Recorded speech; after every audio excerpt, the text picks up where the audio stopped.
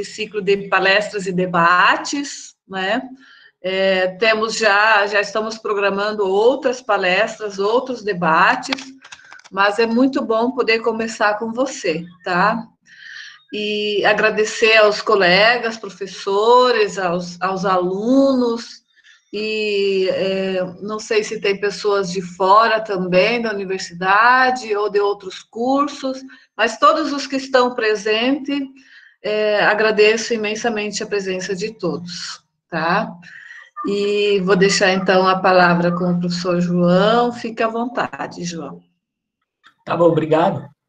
obrigado.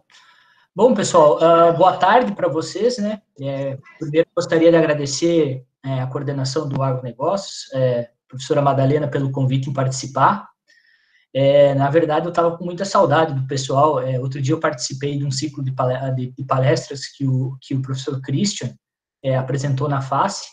E foi muito legal rever algumas pessoas, mas aquele dia é, não, eu não, não, tive muita, muito tempo de conversar. Então, espero que hoje a gente possa conversar também é, sobre os assuntos que vocês tiverem a fim de falar, na verdade. Eu, eu fiz uma apresentação bem curta, a minha apresentação não é longa.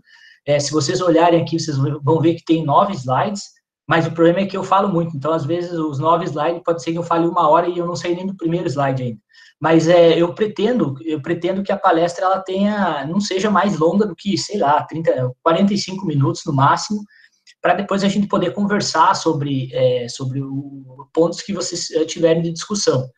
É, na, na preparação, uh, eu tive bastante cuidado de um, trazer pontos que eu acredito ser muito importantes para os uh, ingressantes uh, do curso em agronegócios. Ok. Aí depois eu confirmo com você novamente, antes de fazer, né? Aí você dá ok. Aí depois. Ah, eu estou escutando alguma coisa. É, João, boa tarde. Oi. Oi. Pede o pessoal para quando entrar tomar cuidado com o microfone, é só desligar. Ah. E quem abriu a sala tem um comando para desligar também. Tá bom, então, pessoal, cuidado aí com o microfone. É, bom, e então eu estava dizendo que eu tive o cuidado de, de preparar essa apresentação, uh, principalmente uh, imaginando que o foco seriam uh, os ingressantes do programa de pós-graduação em agronegócios da UFGD, mas também pessoas que estão interessadas é, em pesquisas e, e tópicos importantes que estão acontecendo durante a pandemia na área. É, bom, atualmente, para quem não sabe, eu estou afastado para período de pós-doutoramento, então uh, eu estou um pouco por fora do que está acontecendo uh, dentro da UFGD, é, em questão de calendário, em questão de como a universidade está se adaptando na, na, durante a pandemia, mas é, no final também é, deixei um espaço aberto para eu explicar como a universidade que eu estou agora está tá se adaptando, é, para quem sabe é, isso servir de, de ajuda ou de, digamos assim, é, pode ser que sirva né, em algum ponto para o pessoal organizar é, algum ciclo de palestra, como está sendo feito agora, alguma disciplina, alguma coisa nesse sentido. Bom, pessoal, meu nome é João Borges, né, para quem não me conhece, acho que a maioria das pessoas que estão aqui me conhecem, é, eu tive o cuidado de colocar os logos é, do PPG Agronegócios da Universidade é, Federal da Grande Dourados, mas infelizmente eu não consigo tirar o logo embaixo é, do, power, do, do, PDF da universidade que eu estou agora, porque é, eu estou usando um computador deles e eles obrigam, não sei como, eles colocam uma, uma marca d'água nesse slide, eu não consigo tirar.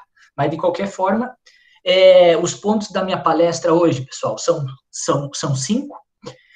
É, primeiramente, eu vou falar rapidamente uh, sobre como é que eu vejo uma pós-graduação estricto senso, Uh, e talvez aqui vocês, uh, vocês, vocês, vocês vão ver que eu talvez seja um pouco sonhador nessa questão.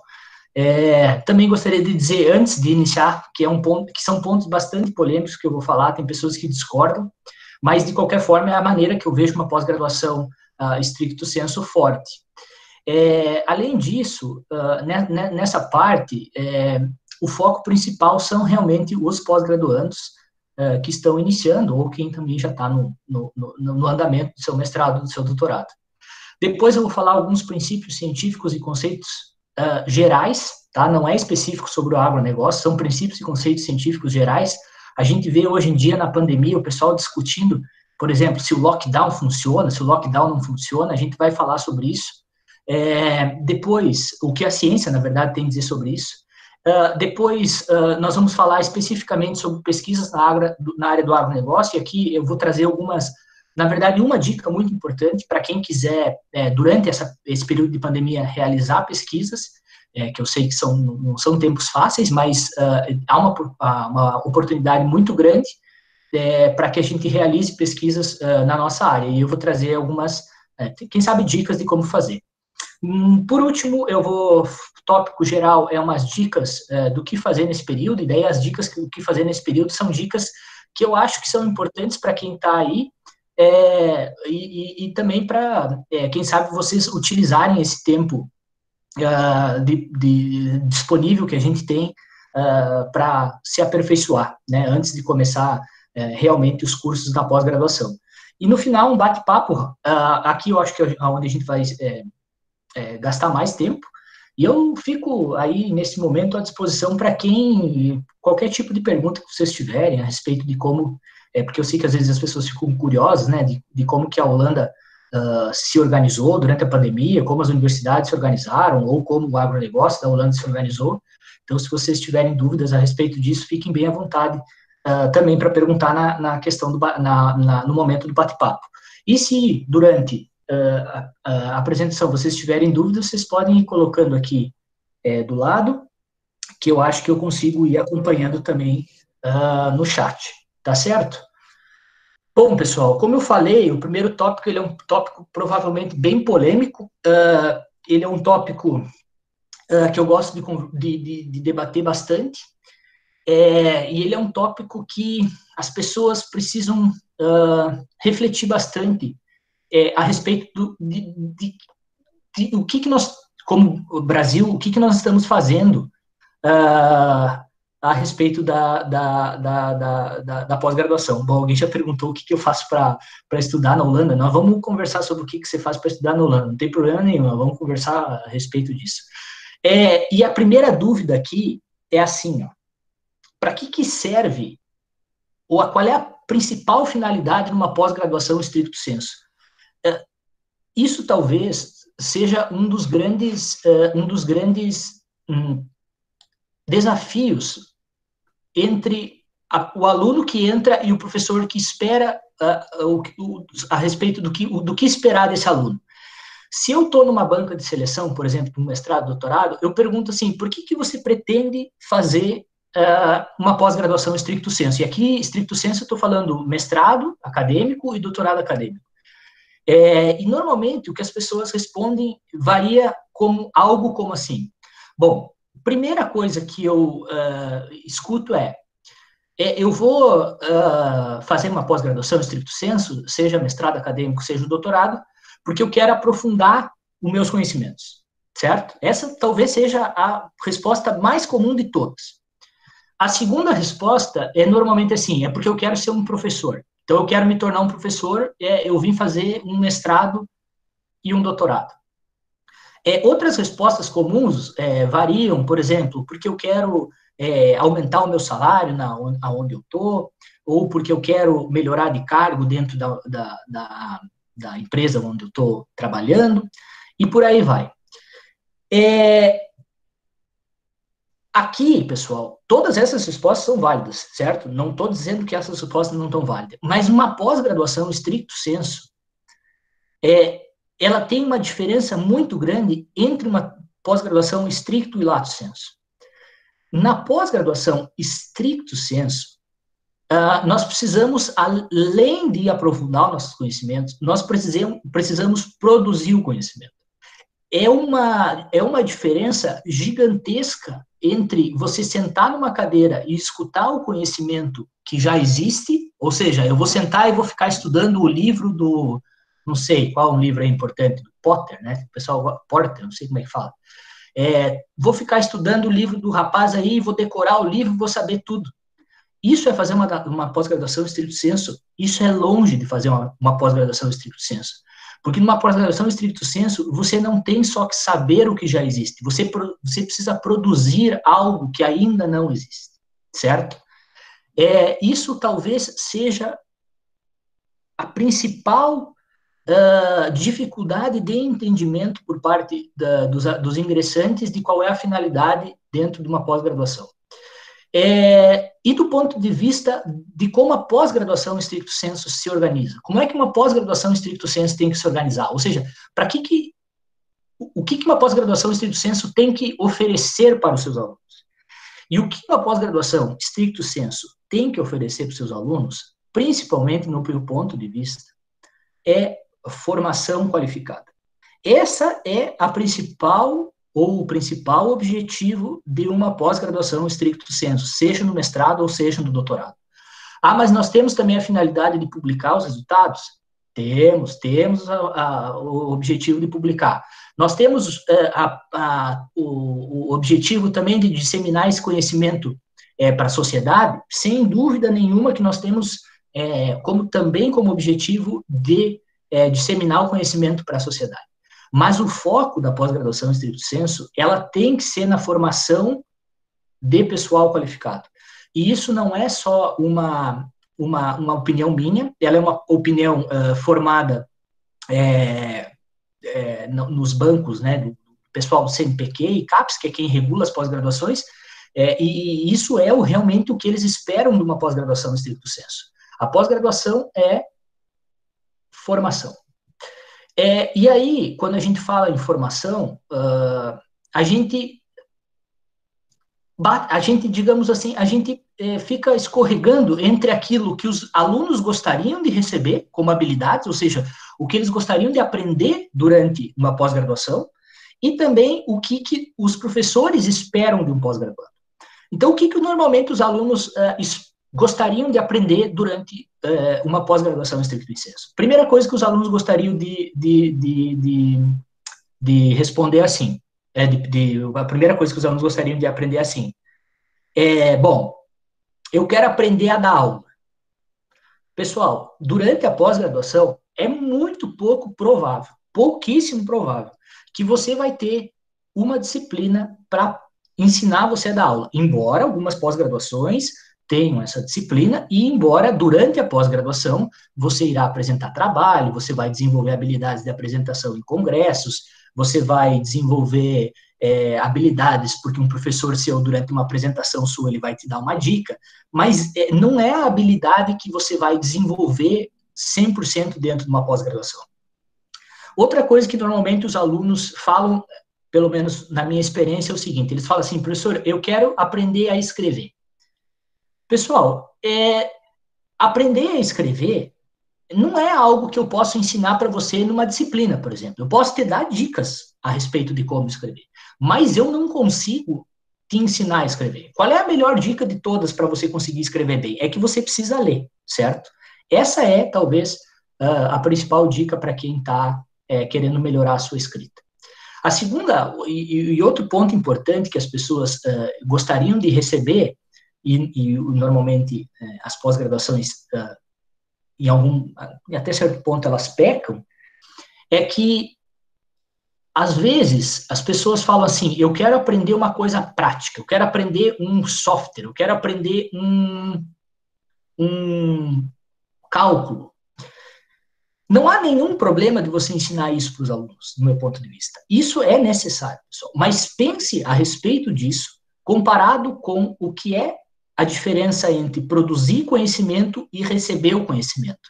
Você tem que aprender a parte prática, você tem que aprender um software, você tem que aprender um cálculo, sem dúvida nenhuma que você tem que aprender. Mas além de você fazer isso, você precisa produzir algo.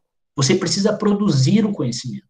E para produzir o conhecimento, para produzir o conhecimento, é, não há maneira de você olhar para trás. Não há maneira de você produzir conhecimento é, decorando livros, ou uh, decorando uh, fórmulas, ou decorando equações que já existem.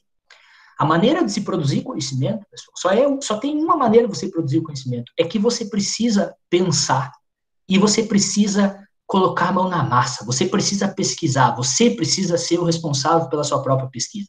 É assim que você vai conseguir produzir um conhecimento que não existe. As pessoas falam assim, ah, eu vou errar durante a pós-graduação, ou eu, eu posso errar durante a pós-graduação, por exemplo?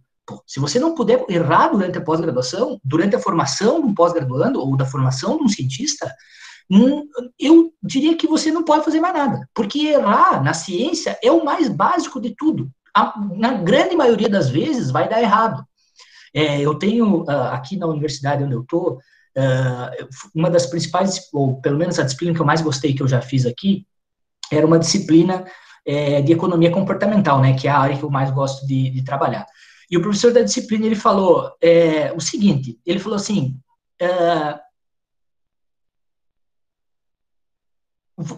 porque a economia comportamental trabalha muito com experimento. E ele falou assim, uh, eu falei para ele, durante o meu doutorado, eu falei, é, professor, é o seguinte, eu vou fazer um experimento. Eu estava quase no final do doutorado. Ele falou assim, eu vou fazer um experimento com pessoas. Ele falou assim, quanto tempo você tem para terminar o doutorado?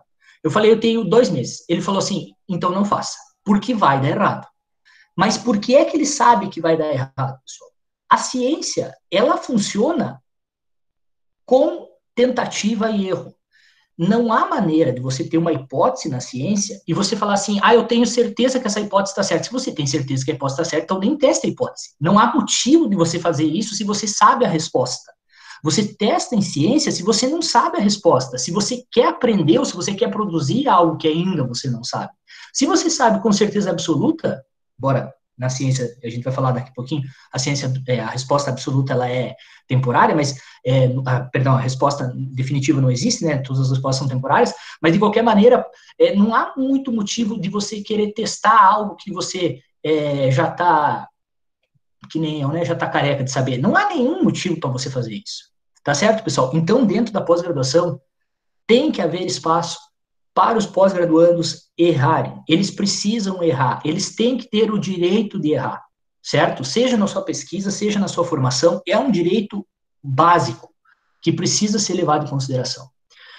Bom, pessoal, aí é, eu esqueci de dizer no começo que normalmente as minhas falas, elas, é, a pessoa tem que ser meio mágica para conseguir acompanhar, porque às vezes uh, um tópico não é conectado com o outro, ainda mais hoje o primeiro tópico da pós-graduação ele é um pouco desconectado com, com o restante da palestra, mas de qualquer maneira a gente vai seguindo aqui, que se vocês tiverem dúvidas, vocês vão colocando. É, o, o, o amigo colocou para nós ir para o ano, nós já vamos chegar lá. É, bom, uh, e aí, uh, durante a sua pós-graduação, durante a pós-graduação, você vai encontrar diferentes professores com diferentes opiniões, você vai é, encontrar diferentes, é, você vai encontrar diferentes uh, pensamentos, e um pensamento que esteve presente por muito tempo, e assim, e, e ele, e ele se enraizou dentro das pós-graduações brasileiras, é que uh, existe uma, digamos assim, uma ânsia é, por quantidade, certo? E aí eu coloquei entre parênteses aqui, é, quantidade de quê? Então, às vezes as pessoas falam assim, nossa, na minha pós-graduação eu preciso uh, de uma quantidade muito grande de artigos eu preciso de uma quantidade muito grande de dedicação, de tempo. Isso é verdade. Preciso fazer o máximo de disciplinas que eu conseguir. Preciso me dedicar e preciso abandonar tudo as minhas outras atividades para conseguir fazer uma pós-graduação estricto senso. É, bom, eu sou ao contrário disso. É, eu acho que isso foi algo pernicioso, que mais uh, dificultou o desenvolvimento das pós-graduações brasileiras do que ajudou, certo? Hoje há, dentro das pós-graduações, uh, principalmente daquelas que estão atentas ao que há de, de, de novas diretrizes na CAPES, uh, de diminuir a quantidade de coisas que se produz e focar na qualidade do que é produzido, certo? E aqui tem outra, uh, tem outra é, falácia que as pessoas normalmente vão falar para vocês. O que, que as pessoas vão falar para vocês? Elas vão falar assim: é, bom, o negócio é nós publicar. Então, nós vamos publicar em qualquer lugar, porque o negócio é nós disseminar o conhecimento. Outra uh, problema que eu vejo aqui é que as pessoas, porque assim, você publicar num, numa revista boa, normalmente leva tempo, é um processo demorado, não é qualquer coisa que as, que as revistas aceitam, as revistas são muito é, rigorosas, passa por revisores que normalmente dá mais trabalho para responder aos revisores do que escrever o próprio artigo, mas é um processo, é o processo da ciência. Então, mas existe maneira de você burlar esse processo. Existem maneiras de você, por exemplo, uh, publicar em revistas predatórias, que foi mais ou menos o tópico do que o Christian, é, o professor Christian apresentou numa palestra passada organizada pela FACE, E durante esse período, uh, você vai falar, as pessoas vão estimular você a publicar, porque, na verdade, ainda, é uma pena, mas ainda, é, você vai ser julgado pela quantidade, principalmente se você quiser fazer um concurso público, certo? Se você quiser, quiser fazer um concurso público é, nas universidades federais, você ainda, infelizmente, é julgado pela quantidade, embora eu acho que isso vai ser cada vez é, menos frequente, mas, mas por enquanto ainda as pessoas são julgadas por quantidade. E, e aí, você vai ser estimulado a fazer isso, e aí, quando você é estimulado a fazer isso, vai aparecendo oportunidades para você publicar numa revista uh, que, que é fácil de publicar, que, que você paga e publica. Outra que as pessoas falam normalmente assim é: nós precisamos publicar em português ou em uma língua uh, para para, por exemplo, um espanhol para ajudar o pessoal da, da, da, América Latina. Pessoal, ajudar o, não há motivo nenhum, não há motivo nenhum uh, para você imaginar que se que você publicar em, portu, em português ou em espanhol é, vai ajudar, ajudar as pessoas a, uh, a, a melhorar o conhecimento delas. Na verdade, isso é um atraso, pessoal. É um atraso. Por que, que é um atraso? Digamos assim, ó, digamos que é, eu sou professor e eu posso decidir o que eu vou dar para um aluno de, de matéria. Então, eu vou decidir o seguinte: eu vou decidir que o que eu vou dar para ele é um livro uh, não muito bom, é um livro de uma pessoa que não passou por critério científico nenhum, mas eu vou decidir que eu vou dar, certo? Em compensação, quem está numa universidade top do mundo, é, ela vai, ele vai receber um conteúdo diferente, certo? Ele vai receber o, o que há de mais novo na ciência, o que há de mais moderno, e aí, e aí é, veja que isso independe da capacidade do aluno. O aluno, ele poderia ter recebido tanto uh, o conteúdo avançado quanto um conteúdo, digamos, não tão avançado. E, só que o aluno não sabe disso. O aluno não sabe. E aí ele recebe aquilo que é menos. E veja que não depende da capacidade dele, porque talvez se você tivesse apresentado algo uh, super desenvolvido, ele teria capacidade de aprender aquilo. Mas você decide que não. Então, na verdade, pessoal, a melhor maneira de você ajudar uma pessoa, a, e aí ele termina a faculdade, ele termina a graduação, ou ele termina a pós-graduação, e ele está despreparado para concorrer no mercado de trabalho. Ele está despreparado, ele não consegue concorrer com uma pessoa que esteve, é, é, que teve uma, uma, uma, uma, formação em uma universidade onde, onde, onde recebeu conteúdos mais avançados. Então, por exemplo, assim, se quiser, se as pessoas quiserem realmente é, preparar pessoas para o mundo, elas precisam entender que não é publicando na língua delas, ou não é, é ou não é hum, é, formando elas de qualquer jeito que você vai dar um, você vai ajudar elas. Você, você precisa, você precisa acreditar que eles são, que as pessoas são capazes de aprender o que há de mais novo no mundo. Numa palestra da Fácil, é, algum tempo atrás, uma, um professor da engenharia uh, foi, foi, dar uma palestra e, e, eu achei sensacional a frase que ele falou. Ele falou assim, ó, mesmo que eu, eu como professor, é, esteja super antenado com o que está acontecendo na minha área, um aluno que entrar no primeiro semestre comigo aqui, e eu vou dar para ele, vou, vou dar na disciplina o que há de mais top, o que há de mais novo a respeito da disciplina, ainda assim, ao final do quinto ano, era engenharia que ele está falando, quinto ou sexto ano, ao final do quinto ou sexto ano, aquilo que eu dei já vai estar tá ultrapassado. Então, imagina assim, se, se a gente quer formar pessoas bem formadas, a gente precisa dar para eles, como matéria, como é, objetivo, algo que as universidades top estão ofertando. Senão, a gente não vai conseguir é, publicar nas melhores revistas. É, Pessoal, uh, e, e, veja que. Ah, isso é outra coisa importante. E veja que eu não estou dizendo, pessoal, que a qualidade do que é publicado em português, em espanhol, é menor. É o contrário, pessoal. Ao, a, pode ser extremamente. Pode ser extremamente bem feito, pode ser extremamente importante, mas o problema é o quê? O problema é que você não uh, estará debatendo no alto nível científico, certo? Esse é um dos problemas. E o segundo problema é que, bom, não, nada te impede de você fazer alguma, as, algumas ações de, de, você de divulgação científica na língua uh, na língua uh, das pessoas que estão é, sendo pesquisadas ou das pessoas que que estão sendo, é, que estão sendo, uh, digamos assim, atingidas pela sua pesquisa. Nada impede de você fazer isso. Você pode fazer isso, porque é uma falácia. Você pensar que você publicar na língua deles, é, você vai estar ajudando eles em alguma maneira. Você não vai estar ajudando, pessoal. Para você ajudar eles, você precisa focar na formação. Bom, tópicos polêmicos, né? Mas tudo bem. Vamos passar para a próxima parte, que é uma parte hum, também é, polêmica dentro da dentro da pós-graduação, uh, que infelizmente uh, durante esse, durante esse, esse esse período da pós-graduação você vai enfrentar uh, alguns dilemas éticos. E aqui eu trouxe uma frase uh, que eu encontrei de um, de um dos meus autores preferidos, e a frase diz mais ou menos o seguinte: é, uma coisa que é pior do que ser culpado pela, por, por, uma, por uma razão errada é você ser é, elogiado por uma, por uma razão errada.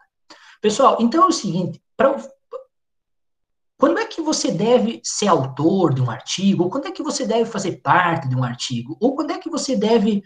É, na verdade, quando você realmente merece estar lá. Essa é a verdade. Mas, infelizmente, dentro das pós-graduações, há uma, uma, um deslize, uh, e isso é muito relacionado à quantidade de publicações que são necessárias, para que várias pessoas uh, sejam autoras de artigos que elas não são capazes de defender. Então, isso é um outro dilema rápido que eu queria é, seguir, mas que eu queria mencionar, mas que é, espero que uh, durante uh, a pós-graduação de vocês é, vocês consigam discernir entre, entre essas questões. Muito bem, agora vamos para a prática. Vamos para a prática porque é o meu chão. É, aí você me pergunta assim, tá bom, João, então agora eu vou começar minha pós-graduação, eu estou aqui, é, aqui fazendo minha pós-graduação no Negócios ou em qualquer outro curso. Então, quem é que eu devo seguir? Eu devo seguir o meu orientador, eu devo seguir o João, eu devo seguir o livro, eu devo seguir o cara da minha disciplina, quem é que se deve seguir? Pessoal, a pessoa que você deve seguir é você mesmo. Um cientista formado, bem formado, um cientista bem formado, ele é capaz de fazer uma pesquisa do início ao fim. Do início ao fim, ou seja, desde bolar o projeto, desenvolver as hipóteses é, e fazer a publicação lá no final, sem necessidade de conversar com outras pessoas. Aí, quando eu falo isso, eu já sei que as pessoas estão dizendo, ah, mas o João está dizendo que não é para fazer pesquisa em conjunto. Não, não é isso que eu estou dizendo. Eu estou dizendo é que, se for necessário fazer, você é capaz de fazer, certo? Esse é o foco de uma formação de um cientista uh, bem formado. Então, nem sempre o seu orientador vai estar certo. Nem sempre eu vou estar certo. Nem sempre o cara do livro vai estar certo. Nem sempre o coordenador do curso vai estar certo. Nem sempre você vai estar certo. Essa é a verdade. Nem se, na ciência não vai estar as pessoas sempre certas. Então você não precisa ter medo, você não precisa ter receio de falar assim, eu vou seguir minha cabeça. Bom, pode ser que você se ferre, pode, pode ser que você se ferre, mas siga isso que você imagina, principalmente para sua pesquisa, porque no final, a pesquisa é sua. A, a, a produção da, do, da, do, conhecimento da sua dissertação, da sua tese, tem que ser seu. Ele não pode ser do seu orientador. Ele não pode ser do coordenador do curso. Ele tem que ser seu. Você, você tem que ser capaz de defender a sua pesquisa. Você tem que ser capaz de falar assim: não tem problema, eu fiz esse erro aqui mesmo. Eu fiz exatamente isso. Naquele momento que eu consegui, foi o que eu consegui fazer ou eu não me dei conta é, do erro que eu estava cometendo. A ciência é aberta para esse tipo de coisa. Você não precisa ter vergonha e medo de errar na ciência. Não há, não há vergonha nenhuma nisso. Tá certo, pessoal? É, bom, e aí, é, para terminar essa parte de uma maneira mais, digamos assim, leve, uh, eu já escutei várias vezes uh, de, de, de, de vários uh, alunos e, e, de pessoas que eu, que eu orientei eles têm a seguinte dúvida, né? É, tá bom, então eu vou fazer o meu mestrado e meu doutorado, e minha dúvida é assim, é, o que, que eu vou ser no futuro? Quando terminar a minha, minha, o meu, meu mestrado, meu doutorado, o que, que eu vou ser no futuro? E aí, para responder isso, é, eu não tenho como responder isso, mas eu tenho como responder o que, que eu espero que alguém que faça um mestrado ou um doutorado seja. Certo? Então eu vou dar a minha opinião do que uma pessoa que faz um mestrado ou um doutorado, estricto senso, deveria ser. Bom, uma pessoa que faz um mestrado, um doutorado, é, estricto senso, a primeira coisa que ele precisa ser é que ele precisa ser um cientista independente, certo? Bem formado e independente. Aqui é importante também dizer que quando eu digo um cientista, é uma pessoa que é capaz, não talvez, de desenvolver uma pesquisa uh, em qualquer campo do conhecimento, porque isso é, é, também é uma mentira, ninguém vai conseguir fazer isso. Porém, um cientista bem formado é capaz de, pelo menos, é capaz de, pelo menos, é, opinar a respeito de uma pesquisa, certo? É capaz de ver se a pesquisa tem algum furo muito grande, é capaz de é, entender que a ciência ela não tem uma, uma resposta definitiva para tudo, ele é capaz é, de defender a ciência, ele é capaz de defender a ciência contra uh, várias coisas que a gente vê. Ele é capaz de, ele é capaz também uh, de disseminar a ciência. Disseminação da ciência, do conhecimento científico é, é muito importante. Hoje em dia a gente vê essas brigas, né, grandes brigas acontecendo a respeito do que funciona, o que não funciona, o que é ciência, o que não é ciência. Outro dia eu li uma, uma crônica muito interessante. A crônica era assim, ó, não use, porque as pessoas são muito religiosas, né, e ela tem aquele mandamento, não use, eu acho que é o nome de Deus ou alguma coisa assim em vão, né. É, e aí a, a, a, crônica era não use o nome da ciência em vão, fazendo essa comparação, que às vezes as pessoas elas começam a falar que a ciência não sei o que e, e falam, mas na verdade elas não entenderam o básico ainda da ciência. E elas ficam dando opinião sobre isso. Então, na verdade, a gente precisa ser capaz, como pessoas que são for, bem formadas, é, de defender isso.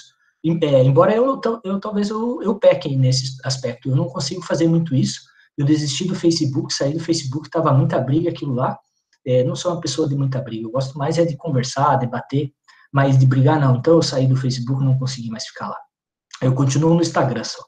É, bom, então, na verdade, o que eu espero de uma pessoa bem formada, num, num programa de pós-graduação, é isso: que a pessoa seja capaz de defender a ciência, seja um cientista independente. Ah, você quer que eu, professor, você quer que eu trabalhe dentro da universidade, no centro de pesquisa? Não, não especificamente, você pode trabalhar em outros lugares. Você tem pessoas que são super bem formadas e trabalham em outros, uh, em outros locais, vai trabalhar dentro de uma empresa e leva o pensamento científico para dentro das empresas. Hoje em dia, o CNPq ele está com ele está com um projeto muito interessante que é o doutorado acadêmico, é, doutorado industrial, se não me engano é o nome do, do projeto, é onde você faz um doutorado em parceria com uma indústria ou uma empresa e aí você tem que resolver durante o seu doutorado é, um, um, um, problema que a empresa esteja, é, esteja enfrentando. Olha que legal, você leva o pensamento científico para dentro de uma empresa e você aplica isso. Então, eu não quero que você fique trabalhando uh, sempre uh, dentro da academia, porque isso, na, dentro das universidades, por isso é outro problema que a gente vai enfrentar logo, logo, que é, é um, um, grande número uh, de, de, de, professores, pesquisadores e, e, e, extensionistas dentro da Universidade Federal e, e as vagas uh, cada vez mais, uh, de, mais concorridas e difíceis de, de, entrar, né? Quando entrar. Então tá bom, pessoal. Uh, na verdade, é, era mais ou menos isso o que eu tinha desse tópico uh, de pós-graduação. Eu sei que é o, o, tópico mais polêmico de todos, eu sei que pode ter pessoas que não concordam, é, mas de qualquer maneira, essa é a minha opinião uh, a respeito do que tem que fazer uma pós-graduação, é, quem faz uma pós-graduação estricto senso. Só para terminar, pessoal, não esqueçam, não esqueçam disso. O foco da pós-graduação é formação, certo? O, foco da, da, da pós-graduação estricto senso é formação. Se é formação, liberdade para errar, liberdade para aprender com os próprios erros. Além disso, pessoal, quantidade não é qualidade. Não é qualidade. Às vezes, por exemplo, o John Nash, não, deixa eu ver se foi o John Nash. John Nash, acho que foi. É, agora eu estou me confundindo, mas eu acho que o John Nash ele é um economista muito famoso. Tem um filme dele que é Uma Mente Brilhante, é um dos melhores filmes que eu conheço. É, se eu não me engano, ele defendeu a tese dele de doutorado numa universidade americana com oito ou dez páginas, uma coisa assim. Quantidade não é qualidade, pessoal. Às vezes uh, um artigo que você tem muito bom vai ter um impacto muito grande na ciência, muito maior do que se você ter, que você tiver 200. Mas qual é o problema disso? Tem um problema aí. E o problema é o quê? É que quando eu falo isso, eu juro, eu, eu me sinto mal. E eu me sinto mal por quê? Porque é, isso uh, é, isso uh, pode te levar, na verdade, para o buraco, certo? E por que, que pode te levar para o buraco? Porque digamos que durante o seu doutorado você publique um artigo só, mas esse artigo tem um impacto muito grande na ciência. Você é um super é, especialista da sua área. Mas, por outro lado, você tem um colega que escolheu outro caminho de quantidade, e aí quando ele escolheu o caminho de quantidade, ele conseguiu publicar 100, 100 artigos, mas as pessoas nunca leram os artigos dele, não teve impacto nenhum na ciência. Só que o problema é que numa, numa, numa corrida para entrar, por exemplo, no serviço público numa universidade federal, esse colega que tem 100, ele vai sair muito na sua frente, certo? Então, na verdade, é, talvez por isso que eu, que, eu, que eu disse no início que eu seja um sonhador. É, talvez o, o, que eu estou dizendo é como deveria ser, como eu acho que deveria ser uma pós-graduação, mas uh, você tem que ter muito cuidado quando você escolhe esse caminho que eu estou dizendo, porque esse caminho que eu estou dizendo, ele é um caminho uh, que talvez uh, possa te prejudicar na carreira digamos assim, dentro é, do serviço público, dentro de uma universidade federal, se esse é o seu objetivo. Infelizmente, infelizmente. É, bom, então tá. Agora vamos para o tópico principal da palestra. E o tópico principal da palestra era princípios é, e, e, e, conceitos científicos. Uh, bom, primeira coisa que a gente vê. As pessoas pensam que ciência é verdade. Ciência é verdade. Ciência é verdade. Pessoal, quem diz que ciência é verdade não entende o básico da ciência. Ciência não é verdade, pessoal. Ciência é o caminho para a verdade. É como se você tivesse um, uma estrada e você tivesse um resultado final, um destino final. O destino final não é a ciência. O destino final é o resultado que você está chegando através do caminho da ciência, certo? Através do caminho da ciência. O problema disso é que as pessoas uh, uh, não entendem que qualquer resultado dentro da ciência ele é um resultado provisório. Não é porque o resultado agora é esse que sempre vai ser esse, certo? E, e, essa, provavelmente, na minha opinião e na opinião de várias pessoas, é a principal vantagem da ciência comparada com qualquer outro tipo de conhecimento que a humanidade já, já conseguiu produzir. Porque ele é muito mais uh, vantajoso, por exemplo, eu poder testar se algo funciona, se eu acredito que algo não funciona, por exemplo, do que eu levar esse, do que eu ter a certeza de que aquilo está certo. Digamos assim, por exemplo, uh, uh, mais ou menos 150 anos atrás, o Darwin ele descobriu lá, um pouco mais de 150 anos, descobriu a teoria, né? Descobriu não, desenvolveu a teoria da, da evolução, né? Bom, há pouquíssimo, isso no tempo geológico é nada, certo? A Terra tem 14 bilhões de anos, isso aconteceu há 150 bilhões, a Terra não, perdão, o, o, o universo tem 14 bilhões de anos, e a Terra, eh, perdão, e isso o Darwin descobriu a 150. É, é, a diferença é gigante. Mas de qualquer maneira, de qualquer maneira, até antes dali, as pessoas acreditavam é, que se você juntasse uh, resto de eh, como é que é? Tinha uma história lá. Você juntava resto de comida e, e, e pano e não sei o que, ia nascer vida dali. Era a teoria da geração espontânea. Era a ideia que a vida tinha nascido dali. Pessoal, é, não é verdade. Hoje a gente tem uma teoria muito mais desenvolvida para explicar a origem da vida. Ah, professor, mas é, isso é polêmico também porque eu escutei que a origem da vida é, foi, por exemplo, do Adão e da Eva. Bom, é uma outra é, é uma outra é uma outra uh, vertente, mas não é a vertente da ciência, certo? A vertente da ciência tem uma explicação da origem da vida. Bom, e aí é, imagina agora nós olhando para aquelas pessoas de 150 anos atrás e a gente fala assim, meu Deus, como essas pessoas não sabiam de nada, é, como elas eram ignorantes, né, no sentido de, de, de pensamento. O que a gente não nota é que porque a ciência é móvel, daqui a 150 anos, quando alguém olhar para nós, o que nós acreditamos agora, e não o que nós acreditamos fora da ciência, estou falando só da ciência, o que, o que, se olha, quando alguém daqui a 150 anos olhar para nós, é, ele vai, é, vão, vai ser falado o seguinte, e vai ser falado, vai ser falado assim, olha o que aqueles é, imaginavam, olha o que essas pessoas daquele tempo imaginavam. Porque é exatamente isso que nós fazemos quando a gente olha para 150 anos atrás.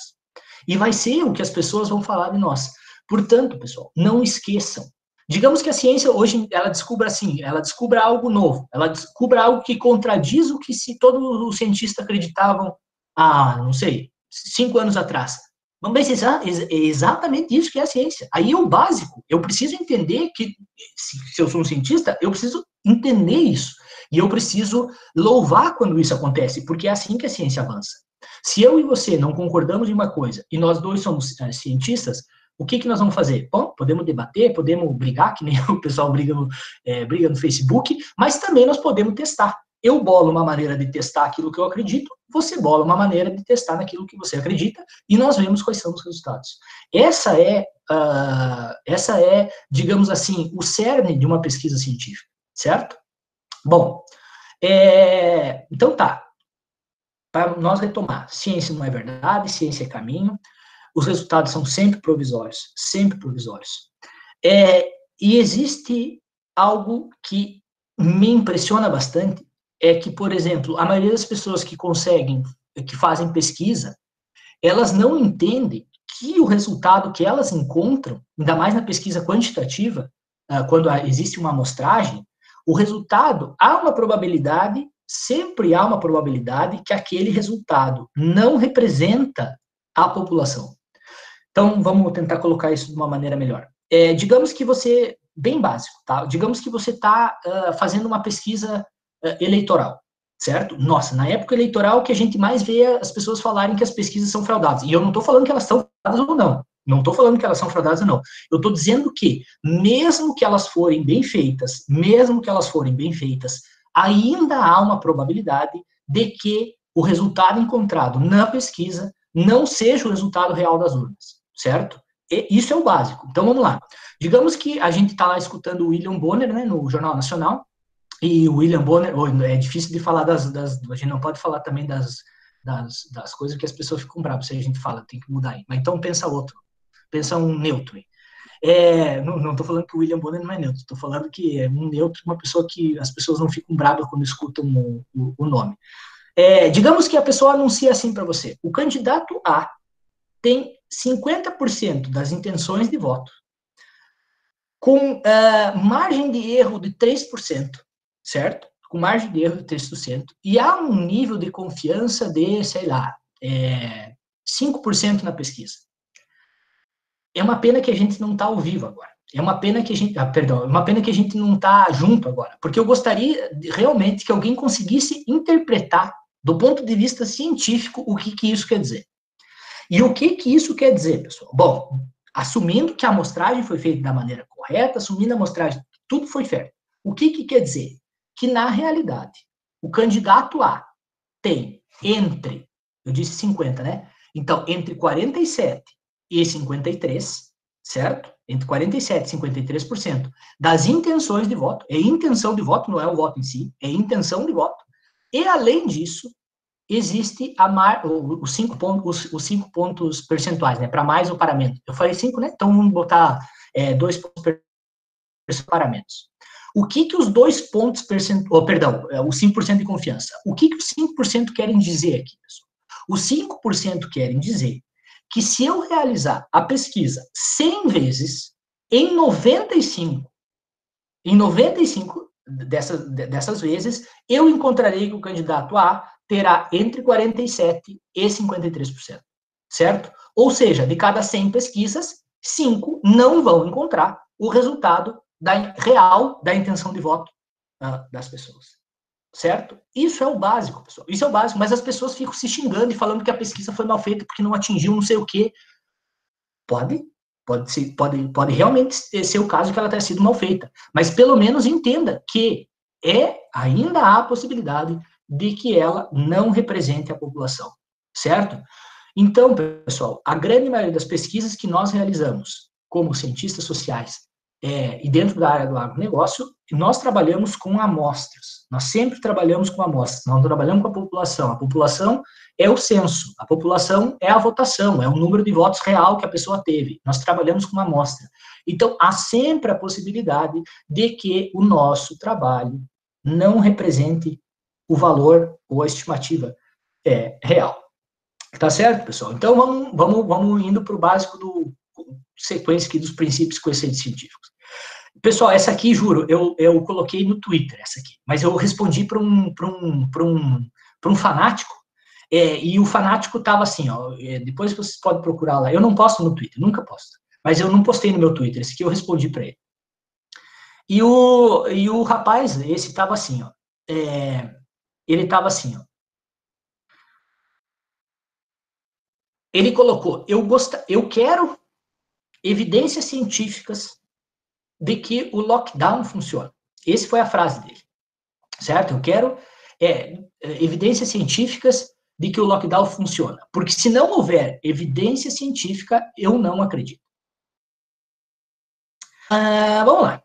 E aí, é, trago aqui outra, outra frase famosíssima da ciência, pessoal, que é o seguinte: a ausência de evidência. Se você puder, se você tiver um, um quadro na sua casa para você desenhar, ou tatua isso no seu braço, isso deveria, na verdade, estar tá estar tá grudado na porta de qualquer programa de pós-graduação na entrada. Porque a ausência de evidência científica, pessoal, não é evidência de ausência, tá? Vamos tentar explicar isso. Não é porque não existe, não é porque não existe evidência de que o lockdown funciona ou não, certo? Que eu posso concluir com certeza que o lockdown não funciona. Certo? Não, ausência de evidência, ou seja, eu não tenho evidência de que ele funciona. Mas não quer dizer que ele não funciona porque eu não tenho evidência, tá? Essa frase ela é muito importante, pessoal, principalmente no contexto que a gente está agora, porque, primeiro, eu não estou dizendo que o lockdown funciona ou não funciona, porque eu não tenho evidência certo? Se eu tenho que dizer qual é a resposta séria que você tem que dar, você tem que dar a resposta séria, a resposta séria é eu não sei, mas eu não saber, eu não ter evidência, não é ausência, ou perdão, não é evidência de que não há, é, de que ele não funciona, certo? É, bom, uh, um cientista sério, nesse, nesse caso, ele precisa responder assim: nós não temos evidência de que o lockdown funciona e nem que ele não funciona. E quando a gente fala funciona, pessoal, quando a gente fala funciona aqui, a gente tem que ter muito cuidado. Por quê? Porque o funciona, ele é. O, o, o que, que é o funciona?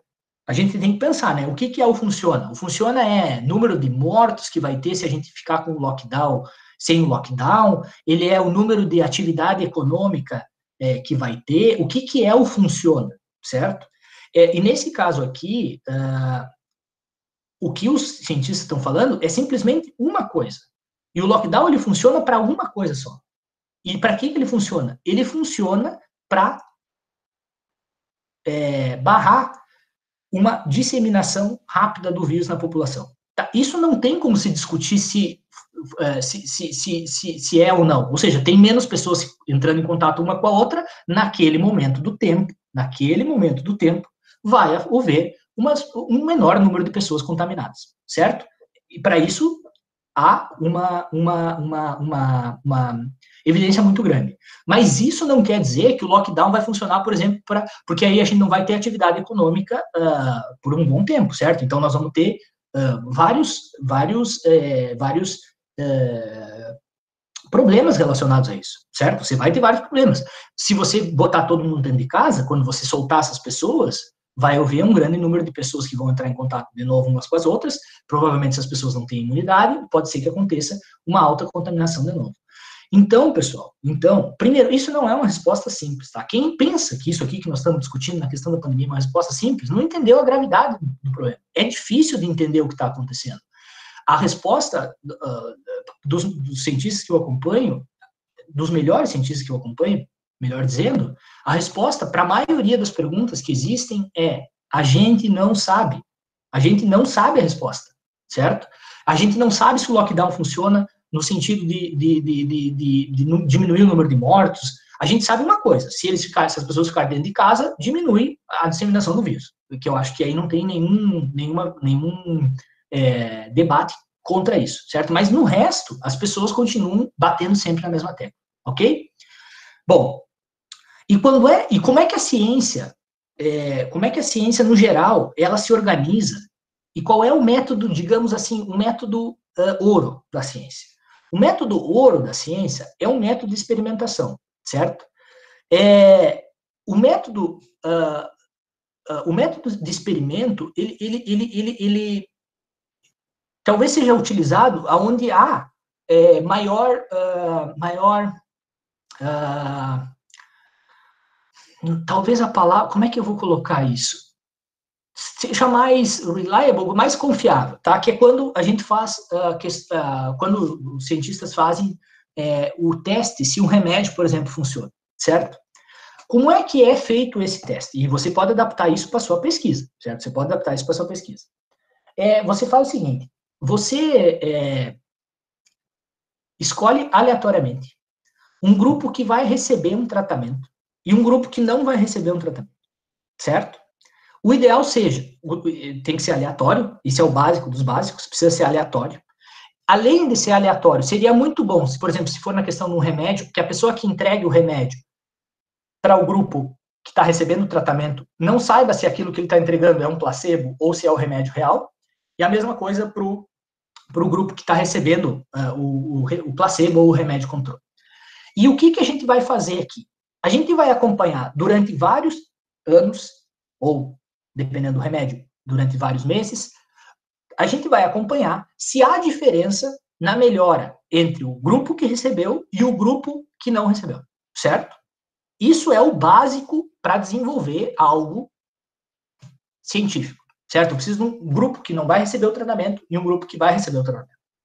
E eu, digamos assim, digamos que a gente está é, testando uh, um remédio para, é, não sei, para é, pressão alta, certo? Para pressão alta. Então, um grupo, digamos, de 100 pacientes que tem pressão alta, escolhido aleatoriamente, recebe um remédio placebo, um grupo é, de, de 100 pessoas que também tem é, pressão alta, recebe um tratamento que nós queremos testar. E no final, nós testamos se as pessoas que recebem o tratamento melhoraram mais do que as pessoas que não receberam o tratamento, certo? Isso é a experimentação básica dentro de uma pesquisa é, médica, certo? Aonde a gente pode aplicar isso? Pessoal, é, uma vez, principalmente dentro da área da economia, a área experimental, ela era, ela era é, descartada, as pessoas não queriam experimentar. Então, as pessoas desenvolviam, por exemplo, uma política pública para ajudar o produtor rural. É, por exemplo, eles desenvolviam a seguinte política: nós vamos dar crédito para o produtor rural comprar um trator, e, e aí é, as pessoas. Tá bom, então nós vamos, nós vamos, nós vamos é, dar o crédito e, aqui, e as pessoas assumiam que aquele crédito melhorava a qualidade de vida do produtor. Veja que eu não estou dizendo que melhora ou não melhora. Estou pensando num experimento para ver se melhora ou não melhora. Como é que esse experimento tem que ser feito? Precisa pegar um grupo de produtores, escolhido aleatoriamente, dar o crédito para os produtores e escolher outro grupo, não aleatório, perdão, aleatoriamente, que não receba o crédito certo? E testar ao longo do tempo se essas pessoas que receberam o crédito realmente se deram melhor, e aí a gente precisa ter uma, uma medida muito exata do que é se dar melhor, comparado com o outro grupo. Aí eu, eu sei. Aí quando eu falo isso, as pessoas já vêm direto. Falam assim, mas isso aí é antiético, porque você está escolhendo aleatoriamente é, se as pessoas é, vão se dar bem na vida, né? Porque imagina que realmente o crédito melhora a vida do produtor simplesmente por causa da aleatoriedade é, a gente, a gente, a pessoa se dá bem na vida ou não. Mas isso, pessoal, isso uh, é muito melhor do ponto de vista é, social do que você ficar jogando um monte de dinheiro fora através de políticas sem testar se a política funciona. Certo? Qual é a, qual é a alternativa que nós temos? Vamos dar crédito para todo mundo e vamos ver se funciona. Mas óbvio que essa política, se ela não funcionar, é um desperdício muito grande de dinheiro certo? Qual é o ideal? O ideal seria haver testes para ver se a política funciona. Ah, mas isso nunca vai funcionar, isso nunca vai dar certo. Pessoal, se quem acha que isso não funciona, lá, é, eu gostaria de dizer para você olhar, por exemplo, o livro, depois eu posso mandar no chat, o livro The Y-Axis, que é um livro escrito por é, economistas comportamentais americanos, que testaram, por exemplo, se uma bolsa de estudo para um aluno é, funciona ou não funciona para, por exemplo, é, esse aluno uh, diminuir a probabilidade daqui 10 anos dele ter, por exemplo, contato com drogas, certo? A resposta para essa pergunta é diminui, tá? Então, ter a bolsa diminui. é, diminui e aumenta, por exemplo, aumenta muito a possibilidade dele ter é, renda melhor, ou seja, a bolsa no, no, no, era, não era bolsa na pós, era uma bolsa na, no ensino é, médio, ensino primário, e, e, realmente a bolsa funciona. Mas antes do teste, não havia nenhuma, nenhuma, uh, nenhuma uh, possibilidade, certo? Nenhuma possibilidade de imaginar que isso seria feito. E isso, a questão de experimentação, é muito importante cada, e cada vez mais importante dentro da nossa área. Seja da área do agronegócio, se, por exemplo, se a gente quiser testar se um planejamento funciona, certo? As pessoas adoram fazer planejamento. Bom, eu gostaria de ver se o planejamento funciona, mas eu não tenho a resposta, certo? As pessoas adoram falar que funciona. Eu gostaria de ver, planejamento funciona? Vamos fazer o seguinte, nós vamos fazer um planejamento para várias empresas, não sei se já, já foi feito, só estou falando que eu, nessa parte sou ignorante. Vamos testar se, se, isso funciona. Vamos selecionar um grupo de empresas aleatórias e nós vamos é, testar se, se funciona ou não. Tá certo? A Letícia colocou aqui que é o ganhador do prêmio Nobel, e é realmente os ganhadores do prêmio Nobel em economia que fazem esse tipo de experimentação. Bom, pessoal, é... nossa senhora que eu falo. É, bom, vamos dar uma apurada aqui. Uh, pesquisas na área do agronegócio. É, aqui eu tinha dito no início que eu gostaria de trazer uma, uma possibilidade de pesquisa, certo? Para todos que estão em casa, que está um tempo difícil. Uma das coisas que, eu, que o pessoal da universidade vive falando aqui para nós é o seguinte, e eu falei, acho que num vídeo hoje que a professora Jane pediu para eu mandar, é, e eu falei assim, e algo que eu ouço uh, repetir agora, tem um ditado, né? Durante esses tempos de pandemia, é, não dá para a gente fazer tudo, certo? Hum, portanto, não pense que você é, pode fazer tudo, mas faça tudo que você puder. E uma das coisas que você pode fazer agora é, é você aproveitar esse tempo para você é, começar a entrar no mundo da ciência de alto nível. E no mundo da ciência de alto nível, existe uma revista chamada Agricultural Systems. Essa, essa revista é uma revista científica da área do agronegócio. E essa revista, ela, ela, ela abriu um editorial e eles, uh, os editores da revista falaram o seguinte: nós precisamos entender qual é o impacto da, pandem da pandemia na área do agronegócio, certo? Então, se você entrar no site dessa revista aqui, se você entrar direto uh, no link para essa, essa, é, essa publicação, você vai ver que eles estão falando assim, ó, independente da área que você for, desde que seja relacionada a sistemas agrícolas, nós gostaríamos de receber a sua pesquisa. Envie um e-mail para nós, porque existe um, um, um coordenador em cada é, país ou em cada região, e existe um coordenador que está uh, selecionando pesquisadores para realizar pesquisas na área, certo? Qual é a grande vantagem aqui? Primeiro, eles querem algo de agora certo? Eles não querem um processo normalmente demorado que leva nas publicações. Então, nessa, nesse editorial, eles estão falando assim: nós vamos ser menos rigorosos quanto à análise estatística que vai ser utilizada, eles vão ser menos rigorosos uh, no tipo de coleta de dados que eles vão uh, uh, considerar, né? Eles gostam muito da questão da aleatoriedade, mas agora, daqui a pouco, uma entrevista com um especialista na área, uma citação de um especialista na área, possa ser utilizado como dados para dentro dessa revista, para trazer um resultado importante para dentro da revista. É, e eles também estão com o Fast Track, que é publicação extremamente rápida. É uma revista muito importante na nossa área, mas obviamente que há algumas regras para seguir para você publicar lá. Qual era a minha sugestão aqui? A minha sugestão aqui, principalmente para pós-graduação em agronegócios, é que os doutorandos e mestrandos se organizem e consigam realizar uma pesquisa, olhando, obviamente, as regras e as, e, e as ideias que existem ali, porque tem ideias, pessoal. Tem ideia, tem ideia que daria para você colocar direto dentro de Dourados. Por exemplo, tem uma pergunta que eles fazem assim, ó, qual é o impacto do, do, do, do da pandemia é, em, em sistemas é, por exemplo, uh, sistemas de produção menos desenvolvidos. Eles colocam o exemplo de indígenas ou de pequenos produtores que estão em assentamentos. Qual é o impacto disso uh, dentro do, do, do, da produção?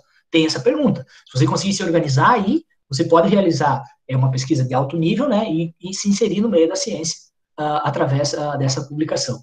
É, me parece uma oportunidade, na verdade, é imperdível, tá? Eu não posso uh, gerenciar isso e nem é, fazer isso agora, porque né, eu já estou envolvido num, num, dos projetos aqui, é, e, e, tem uma regra lá que se você tiver em um, você não pode estar em mais em, em nenhum. Mas é, fica a dica aqui para quem quiser é, realizar. Tem várias perguntas interessantíssimas. Tem perguntas assim, por exemplo, é, isso vai fazer, por exemplo, as pessoas uh, mudarem seus hábitos de consumo? A pandemia, ela, os hábitos de consumo, eles são, uh, esses hábitos que a gente mudou durante a pandemia, eles são temporários ou eles vão ser permanentes? É, tem outras perguntas que eles fazem assim, uh, os, há, diversos eh, rearranjos de mão de obra dentro do setor por exemplo, na questão lá na minha cidade, Vacaria, devido à pandemia, é, a maçã não pôde ser colhida da maneira que ela era sempre colhida, que era com bastante pessoas uh, trabalhando uma ao lado da outra, e era as pessoas que vinham, inclusive, de Dourados, que, que o pessoal é, transportava de Dourados para fazer a colheita da maçã lá em, lá em Vacaria. É, mas aí eles tiveram que adaptar isso. E aí eles adaptaram de diferentes formas. Qual é o impacto dessa de, de, de, de eles terem é, rearranjado é, essa mão de obra, qual é o impacto disso no longo prazo? Ou seja, isso vai continuar ou isso é algo temporário? E o legal dessa publicação, pessoal, é que são duas. Você vai colocar uma, certo? Você vai colocar uma, uma publicação agora, só que, se eu não me engano, daqui um ano, você precisa reatualizar a sua publicação, dizendo como é que está a situação depois, digamos, do, do corona uh, ter passado, certo? É uma, dados em painéis. Você coleta os dados agora e você coleta os dados daqui a um ano para ver como é que ela está. Tá certo, pessoal? Então, essa é uma dica, acho que é muito importante para o agronegócio. É, dicas do que fazer nesse período, pessoal. Bom, dicas do que fazer nesse período, a minha dica principal é que você precisa ler. Se você está na pós-graduação, você precisa ler. E, e, isso é mais importante de tudo. Você tem que ler coisa boa, você não pode perder tempo lendo coisa ruim. Ler coisa ruim, eu já li, por exemplo, Pai Rico, Pai Pobre, eu li Os Casais Inteligentes Enriquecem Junto, é, eu li eu li um monte de coisa que não me serviu nada na vida, a não ser é, eu aprender que aquilo não deveria ler. É, e, e, o que, que eu sugiro leitura, pessoal? Você precisa ler ciência de alto nível. E eu trouxe aqui, óbvio que não são os únicos, eu trouxe autores é, como dicas, é, são autores que eu gosto de ler. E como a gente está falando, uh, no geral, né, a gente não está falando de uma área específica, ou seja, a gente não está falando de economia comportamental, é, eu, que é a minha área, que ou pelo menos é o que eu gostaria de, de ser, é, eu gostaria de, de, de, de, sugerir os autores Richard Dawkins, Steven Pinker, Nassim Taleb, Daniel Kahneman e o Leonardo Blotinov. O Richard Dawkins, ele é um biólogo, ele escreveu o livro mais importante da ciência do século passado, que foi escolhido por várias pessoas, que é o Gênio Egoísta. O Steven Pinker, ele tem um livro uh, interessantíssimo chamado uh, O Iluminismo, o Novo Iluminismo, que aí ele mostra que a gente nunca viveu em um tempo tão bom, óbvio que o livro foi, foi escrito antes da pandemia, mas que a gente, em toda a história da humanidade, nunca teve um tempo tão bom para se viver quanto agora, embora, claro, que exista diversos desafios que precisem ser colocados. O Nassim Taleb, ele entrou no meu hall aqui porque, na verdade, eu acho ele um gênio, ele odeia praticamente todos os outros, ele odeia o... Acho que ele só não odeia o Daniel Kahneman, mas ele odeia o Richard Dawkins, ele odeia o Steven Pinker, mas, de qualquer maneira, ele tem uh, ideias muito... e ele odeia a maioria dos professores também, isso é interessante. É, ele, ele, ele odeia qualquer acadêmico, na verdade.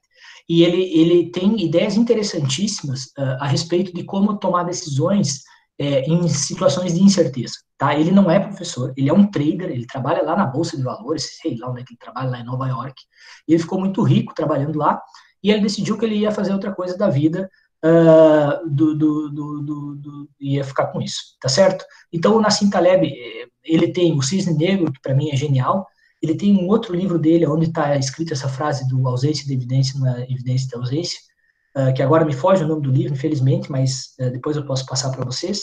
O Daniel Kahneman, ele é da economia comportamental, mas hoje eu diria que qualquer livro de ciências sociais, é, que é isso que a gente faz, a maioria do que a gente faz, se um livro não citar ele, é porque alguma coisa está errada. A maioria dos livros citam o, lá, o, livro dele, Rápido e Devagar, certo? Ele é, o livro Rápido e Devagar, ele deveria ser obrigatório para qualquer pessoa que quer entender como o cérebro funciona. E o Leonardo Blotinov, ele é um autor que é, divulga ciência, certo? Ele é um parceiro do, daquele rapaz falecido, né, do pesquisador falecido, o, aquele que tinha o um problema no braço, sempre me esqueço o nome dele, não é problema no braço, ele tinha paralisia cerebral. Bom, De qualquer forma, é isso aí. O que mais que você pode fazer, pessoal? Você pode especializar no idioma. Você pode, é, uh, você pode se especializar uh, em inglês. Se você já for craque no inglês, você pega e vai aprender outra língua. Se você já for craque em outra língua, você pode aprender uma quarta língua. Não esqueça, pessoal, não esqueça que no final da sua pós, final da sua pós-graduação, você vai, é, você vai, você vai concorrer na maioria das vagas com pessoas que são muito qualificadas. E é óbvio que você precisa se especializar em algo que poucos saibam. Aproveite esse tempo disponível para você se especializar. Qual é o grande problema que eu vejo aqui? O grande problema é que as pessoas não sabem onde começar. É, mas existem cursos online hoje em dia uh, ofertados por diversas uh, universidades muito boas, e essas, inclusive da UFGD, e esses cursos eles têm um começo, meio e fim, ou seja, eles não são é, um curso que você não tem, não sabe aonde começar, eles são um curso começo, meio e fim, então eles ajudam na sua qualificação. É óbvio que eu estou falando assim, eu, por exemplo, eu me inscrevi num curso uh, para aprender a fazer os experimentos que eu estava falando antes, e eu ainda não consegui realizar o curso, mas de qualquer maneira eu estou utilizando é, esse tempo também para me qualificar, para aprender algo uh, que eu não sabia antes. Cuidado durante esse período com as regras fáceis, com as pessoas que falam assim, não, mas isso aqui nós aprendemos em cinco minutos. Pessoal, informação e, e conhecimento científico demora anos para aprender é um processo, não adianta você falar assim para mim, ah, agora eu já sei fazer. Quando esse processo é um processo que demora, por isso que normalmente uh, uh, eu, eu, falo em quantidade de tempo de, de, de, dedicação no doutorado, a quantidade de tempo de dedicação no doutorado uh, é algo que você realmente precisa programar, porque você, vai ter que se dedicar bastante para leitura, você vai ter que se dedicar bastante para pensamento. Então, gaste bastante tempo uh, com essa, com, com, nesse período, se você, óbvio, se você conseguir, porque, por exemplo, eu não consigo fazer tudo que eu pretendo fazer, não consigo mesmo. Mas uh, essas eram mais ou menos as minhas dicas que eu tinha, uh, e aí eu vou abrir para o pessoal fazer pergunta, era para eu falar 30 minutos, já deu uma hora e dez. É, para quem quiser fazer pergunta e, e, e, também, se alguém quiser saber, eu pensei em algumas, né, caso vocês não tivessem nenhuma, é, por exemplo, como é que a universidade se adaptou aqui aos tempos de pandemia, como é que eu me adaptei, qual é o futuro no curto prazo aqui na Holanda para essas questões? Quem sabe responder algumas questões que eu deixei passar aqui. Tá bom, pessoal? Agora, mais ou menos isso que eu tinha. É, muito obrigado pela é, participação e pela atenção. Do Oi. Estou te escutando. É, a Gabi está falando, não sei se o senhor está me escutando. Tá. É, eu tenho uma dúvida em relação ao que o senhor falou sobre experimentos. Por exemplo, é, é, como eu não trabalho com pessoas, teoria comportamental, eu trabalho mais com fenômenos naturais.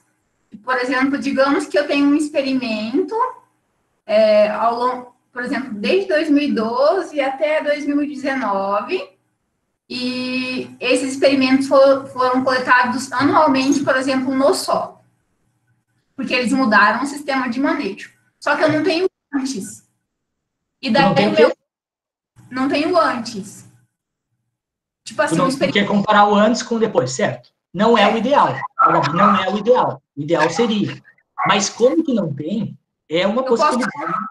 de você tá. conseguir. Aí, a minha, a minha, minha pergunta é: eu posso utilizar dados secundários com características parecidas para conseguir fazer essa comparação? Pode, pode fazer. Mas assim, Gabi, de novo, se você fosse ah. usar o padrão ouro da ciência, o padrão ouro da ciência em qualquer área é o seguinte: eu preciso de uma, um lugar onde tem determinada coisa e onde não tem determinada coisa. E eu vou testar se há diferença entre os dois. Mas não é sempre que a gente consegue fazer isso. Então, esse caso parece um caso que não é possível fazer isso. Quando não é possível fazer isso, bom, não vejo nenhum problema de você utilizar métodos alternativos. Mas como, por exemplo, ó, se for, digamos que seja a produção de café. É, isso muda muito de acordo com o solo, tratamento, degradação e tal. Mesmo se eu fizesse o experimento em outra propriedade que não utilizasse o mesmo tipo de manejo, que é o que eu tenho, por exemplo, é, os dados coletados anualmente, a série histórica, não é a mesma coisa. Mas imagina assim, Gabi, imagina que você, em vez de ter em, várias propriedades, você tivesse vários, é, você tivesse vários... Uh, uh, como é que fala? Vários experimentos dentro da mesma propriedade. Então, num lote, sei lá como é que chama, mas num lote você faz determinado tratamento. No lote escolhido aleatoriamente, você faz sem o, sem o tratamento que você está falando. No lote subsequente, você faz de novo. E aí você teria dentro da mesma propriedade, você teria, que teria sido escolhido de maneira aleatória, você teria eh, a possibilidade de comparação. Tá? Esse seria um método muito bem feito. Tá, entendi. É, mas isso não é empecilho para, por exemplo, um revisor rejeitar. Não, não é um empecilho. Desde, desde que você deixe claro na sua metodologia, nos seus materiais e métodos, que foi esse o tipo de dado que você teve acesso, certo?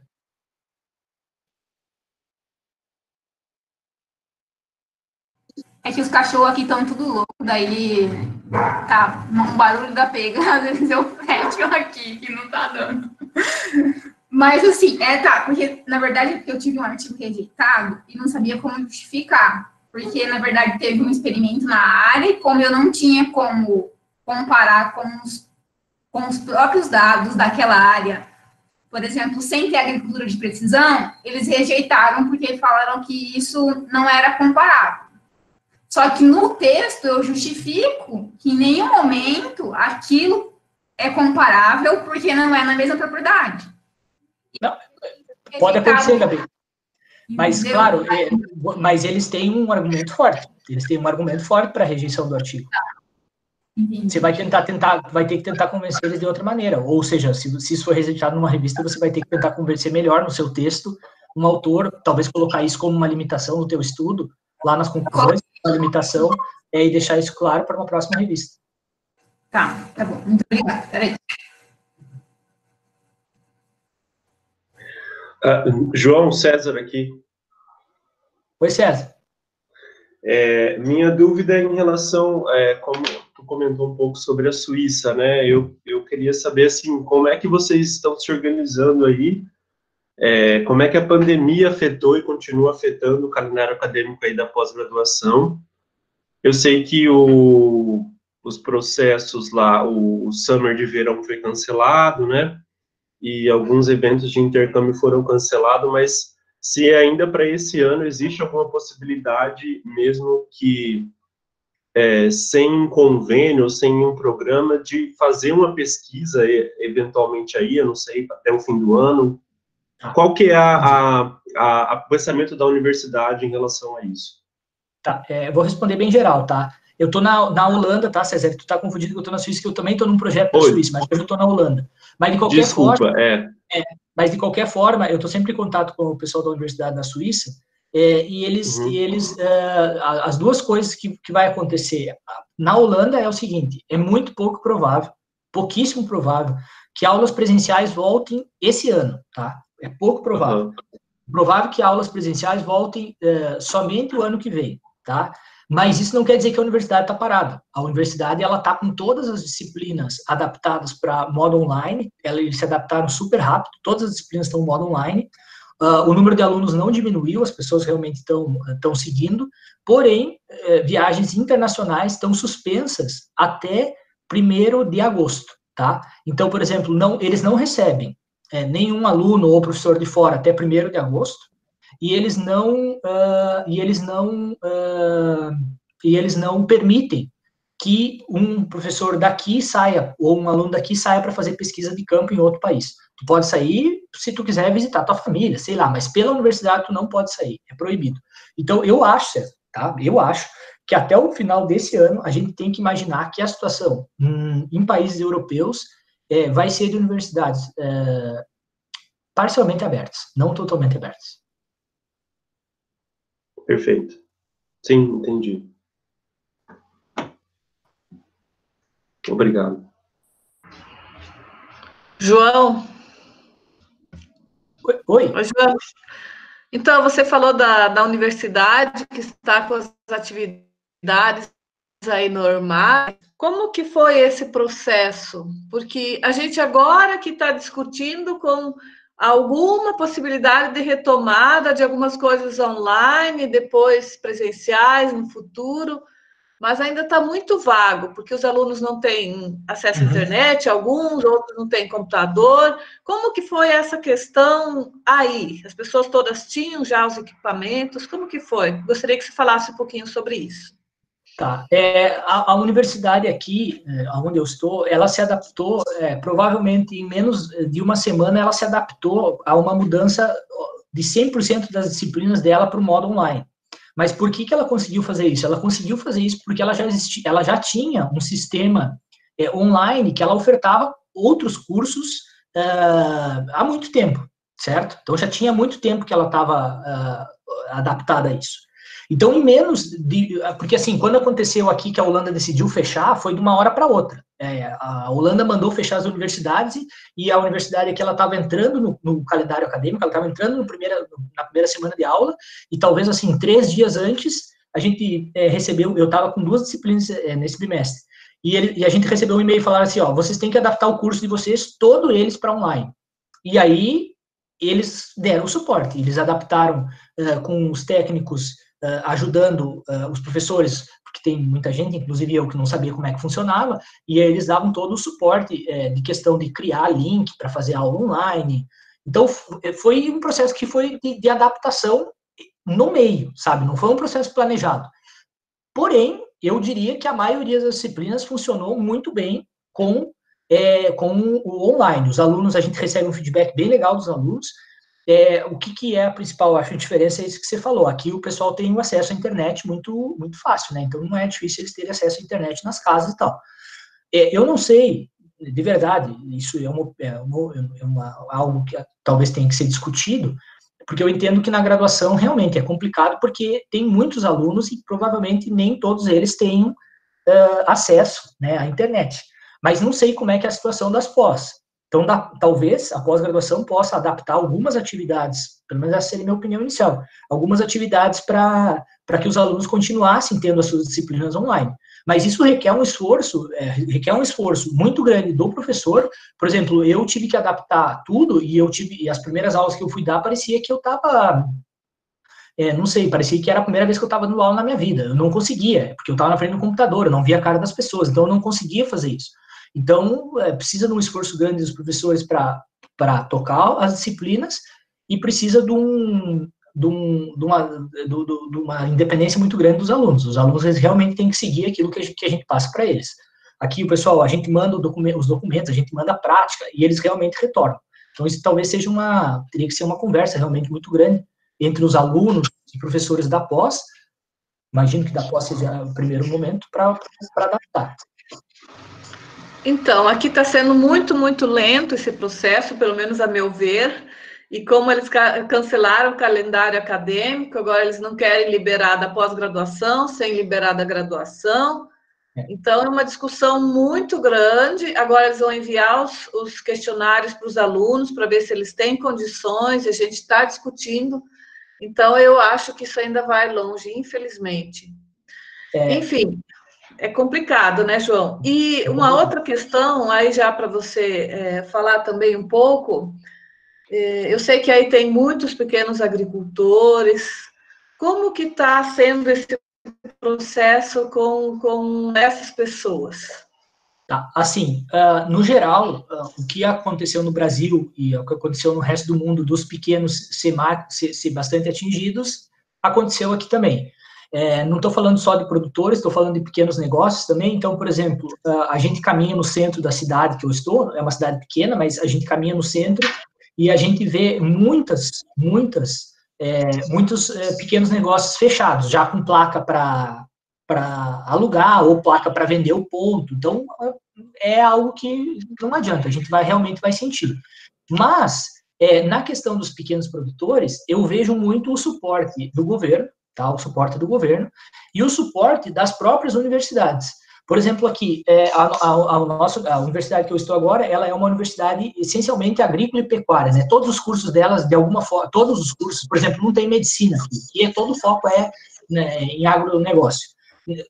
Eles, a própria universidade, organizou uh, maneiras de ajudar esses pequenos produtores. Uma das maneiras que eu acho, achei super interessante da universidade foi assim, é, uma das, uma das, das, das mais impactadas aqui foi os, as pessoas que produzem flores, né, porque parou todos os, parou todos os, os, os eventos, não tinha onde vender a flor e tal, e a, e a universidade comprou uh, é, como é que fala? É, não é, é ticket, assim, e deu pra, e enviou para todos uh, os professores da universidade, acho que deve ser, sei lá, mais de mil, ou mais de, sei lá, um ticket aonde tu poderia ir, 20, 20 euros, acho que era, onde tu poderia ir em qualquer floricultor aqui da região e entregar aquele ticket que a universidade reembolsava o pequeno agricultor, ah, o pequeno florista, uh, por isso. Então, dessa maneira, a universidade estimulou bastante. Eu achei bem muito legal uh, quem estava trabalhando pela própria universidade e também fez circular as flores que estavam paradas com esses floristas. Outras é, iniciativas que eles utilizaram, é, por exemplo, eles é, ofertaram uh, maquinário da universidade para esses pequenos produtores que estavam, por exemplo, perdendo, perderam mão de obra. Eles ofertaram, uh, eles ofertaram uh, diversos cursos gratuitos para os pequenos produtores que não conseguiam, por exemplo, não conseguiam vender. Eles foram lá e ofertaram cursos. Então, a universidade teve um papel muito grande nessa questão na região onde eu estou. Mas, no geral, os pequenos agricultores da Holanda foram bastante atingidos, sim. E eu acho que na Europa inteira, na verdade, foram bastante atingidos.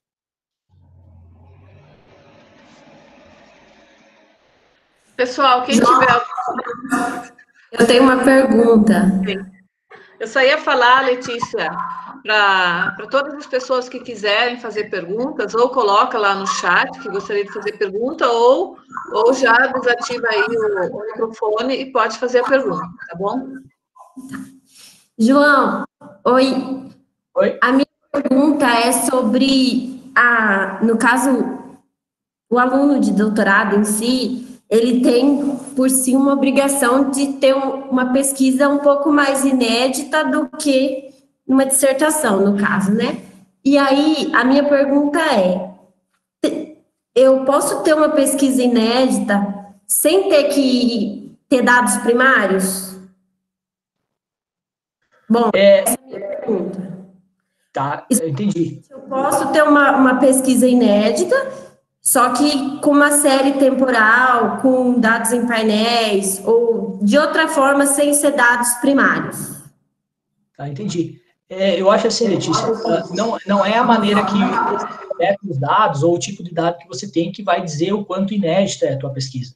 É, você pode sim ter, ter é, pesquisas inéditas com com dados secundários. Tu pode ter pesquisas inéditas, inclusive sem dados uh, é, coletados. Você pode ter uma pesquisa inédita, por exemplo, na física teórica, onde as pessoas não têm nem dados, as pessoas fazem uma pesquisa inédita através do raciocínio que elas têm. Então, eu não vejo nenhum impeditivo, uh, assim, de, de, dizer categoricamente que o tipo de dado que você vai utilizar, utilizar na tua pesquisa é, vai ser um, um, é, uma restrição, uh, por exemplo, para você ter uma pesquisa inédita ou não.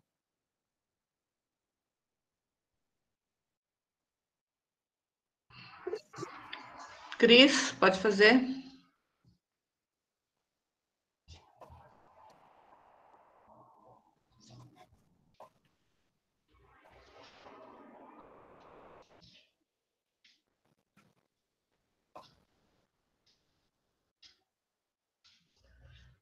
João, você está vendo pelo chat? Ela mandou a pergunta pelo chat. Ah, ela viu a pergunta pelo chat. É, Cris, como está sendo tratada a questão uh, dos alimentos? Segurança imensa, procedências, origens, cadeias custas estão sendo vistos por aí. Tá. É, bom, uh, Cris, assim, a maioria das cadeias uh, que estão sendo estimuladas aqui são cadeias curtas, tá? É, todas as quartas-feiras e sábados, na grande maioria das cidades aqui, é, os pequenos agricultores organizam uh, feiras é, e eles e as feiras foram permitidas que elas continuassem durante o período de pandemia. Então, os pequenos agricultores levam os alimentos nessas feiras, é no centro da cidade, e ela e, a, e realmente as pessoas vão comprar lá. Ou seja, a pessoa tem uma consciência que ela indo lá, ela vai estar ajudando o pequeno produtor. É, na questão, qual mais que tu colocou aqui, a procedência, a origem, bom, isso é bem diferente do Brasil, acho que a maioria dos, a maioria talvez seja exagerado dizer, não conheço os dados, mas eu diria que uma grande parte do, do, do, dos consumidores aqui, eles realmente se, se, se, se preocupam muito com isso. Por exemplo, uh, a gente vê países aqui da Europa que, que proíbem a entrada de transgênicos, né? Por exemplo, a Suíça é um exemplo. A Suíça não importa é, soja brasileira é, porque é transgênica, porque a maioria da soja é transgênica. Então é um outro, é, um outro pensamento, né? sem julgar se é certo ou errado, mas é um pensamento diferente de realmente de, de, de Ah, é, o Rodrigo, o Rodrigo uh, colocou aqui uh, a respeito de estudar na Holanda. Eu não sei se o Rodrigo ele está pensando a respeito de fazer mestrado, doutorado, mas uh, o, o, se for pós-graduação, é, a pós-graduação aqui ela tem um, um, uma, uma, uma, estrutura diferente. A pós-graduação aqui ela não, ela funciona, e não existe edital para entrar, por exemplo. Ela é fluxo contínuo. Então, uh, eles postam sempre as vagas que existem dentro dos departamentos, vaga para doutorado, eles postam no site da universidade, e esse é o procedimento da maioria das universidades aqui da Holanda, e as pessoas se candidatam é, para fazer a para fazer a, a, a pós-graduação. Qual é uma das grandes vantagens disso? Uma das grandes vantagens disso é que eles só contratam um doutorando se eles tiverem dinheiro. Então a gente vê bastante né, a questão de bolsa no Brasil, de a gente ter dificuldade de ofertar bolsa para os alunos. Aqui é o contrário, eles não vão é, selecionar as pessoas se eles não tiverem bolsa ou se eles não tiverem um salário para essa pessoa. Aqui o doutorando ele não é um ele não é um estudante, um doutorando aqui ele é um funcionário da universidade com todos os direitos, ele paga todos esses já paga é, já desconta na folha, todos esses esquemas assim de quem já está realmente empregado. É, que mais, Rodrigo? O mestrado não. O mestrado aqui ele não tem o foco acadêmico. O foco do mestrado deles é uma sequência da graduação, talvez muito mais como uma especialização, no nosso caso aí no Brasil. E eles, uh, eles também é, talvez utilizem o mestrado como uma forma de seleção dos melhores para entrar no doutorado. Então, normalmente, uh, quem é os melhores durante o mestrado, é, eles convidam, quando eles têm a vaga, para fazer um doutorado com eles. É, a graduação deles é diferente um pouco, porque a graduação deles depende muito das notas que eles tiveram no ensino médio. Então, dependendo das notas que os alunos tiveram lá no ensino médio, eles não conseguem mais. Claro que existem maneiras, mas de, no modo geral dizendo, as pessoas não vão conseguir mais entrar em determinados cursos, naqueles cursos mais concorridos. Então, existe uma, digamos assim, pressão para que desde a da escola primária, secundária, as pessoas tirem boas notas para que elas possam entrar nas melhores universidades é, e nos melhores cursos. Uh, aqui, por exemplo, isso é algo que eu sempre falo, que é algo que eu acho importante, que às vezes as pessoas não entendem uh, o, o, nível uh, o nível de concorrência que a gente vai encontrar se a gente for para ciência de, de alto nível. Por exemplo, um, um, um, um ensino médio aqui, quem terminou o ensino médio aqui na Holanda, que fez todo o ensino médio aqui, é, ele já fala uh, três línguas. Ele sai falando o holandês, que é a língua materna, todos eles falam inglês, e no meio do ensino médio ele seleciona uma terceira língua. E aí a pessoa, claro, provavelmente não vai sair 100% fluente, mas ela vai entender uma terceira língua. E ele seleciona espanhol, francês, português, sei lá, outras coisas. Então, é por isso que eu sempre falo que a concorrência é muito. Se você for realmente para a parte internacional, a concorrência é grande. A gente olha hoje é, as vagas. Uh, do, teve um brasileiro que entrou no doutorado aqui agora no grupo que eu estou. eu acho que ele concorreu com mais de 150 pessoas. Então, a concorrência é, é, é, é alta mesmo para essas vagas. Mas não é impossível. Uh, isso que eu estou falando é justamente ao contrário, é justamente para estimular, para que as pessoas é, para que as pessoas se preparem para conseguir atingir é, esse tipo de, é, de vaga, que as pessoas não se contentem é, com qualquer tipo de vaga, que as pessoas realmente busquem é, e se, se esforcem para conseguir é, cada vez melhor. E, e, quando eu digo cada vez melhor, não é comparado aos outros, é cada vez melhor comparado a você mesmo. Quanto melhor você conseguir fazer a respeito de você mesmo. Pessoal, é, quem quiser fazer perguntas, tem mais uma pelo chat, acho que do Gabriel, mas é, seria interessante, eu sei que talvez vocês possam estar com vergonha, não sei, mas assim, à medida que vocês fizerem pergunta é, e vocês ativarem o microfone, ativarem a câmera, é possível também o professor João conhecer vocês, é possível a gente e os colegas se conhecerem. Então, é uma forma bacana também de vocês é, participarem do, do evento. Eu tô com saudade do pessoal aí, né? Que as pessoas não estão colocando. Pensei que eu ia ver toda a galera aí. O pessoal não está falando. Pois é, isso que eu falei. Tá bom, eu, eu me candidato, então. João, fala um pouquinho para a gente como é que é essa relação da universidade com empresas, as demandas por pesquisa. Eu acredito que a gente caminhe muito nesse sentido aqui. Uh, então, se você puder esclarecer um pouquinho para a gente. Ai, obrigada por todas essas desconstruções que você constantemente faz com a gente, mas acho que é isso, a pós-graduação é o melhor espaço para essas reflexões e não te preocupa eu acho que é, é, em todos os aspectos nós precisamos pensar sempre, e acho que não nos ofende em hipótese alguma, ou ofende a cada um de nós, porque a gente pensa um pouco diferente. Nada disso, eu acho que é isso mesmo. Obrigada. Obrigado, Elaine. É, bom, a, a, universidade aqui, é, ela tem é, centros dentro do próprio campus, é, patrocinados por empresas.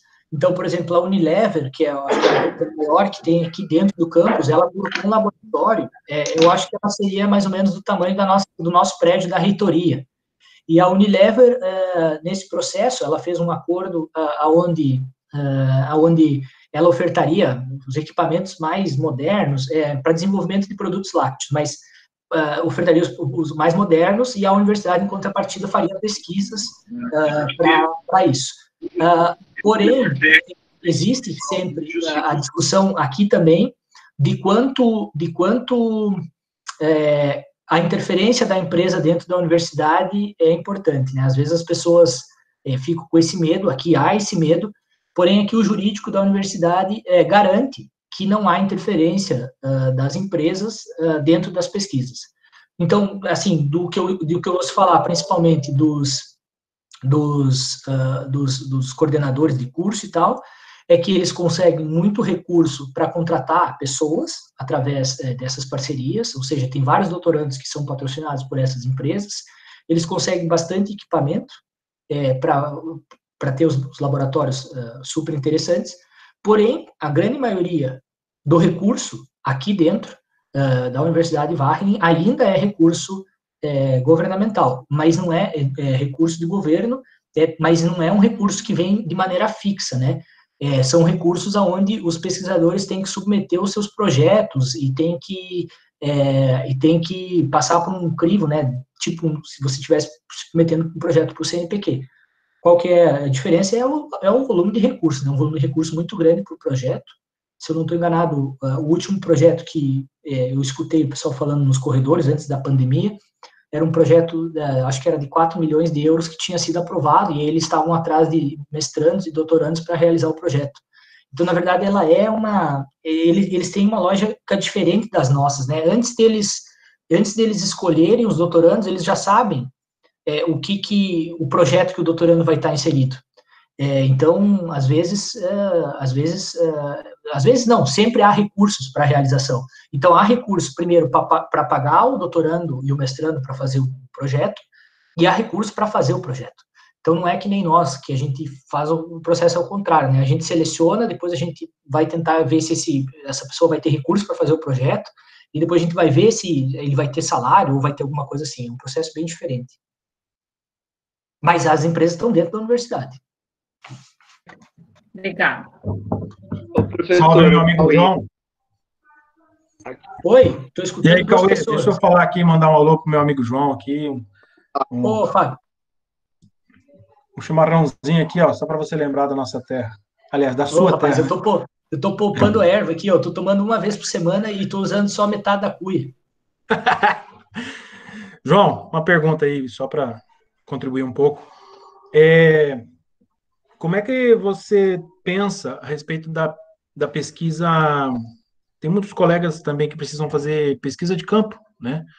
É, ir a campo para coletar dados aí, coletar os dados primários, pegando um gancho do que a Letícia tinha falado naquela hora também.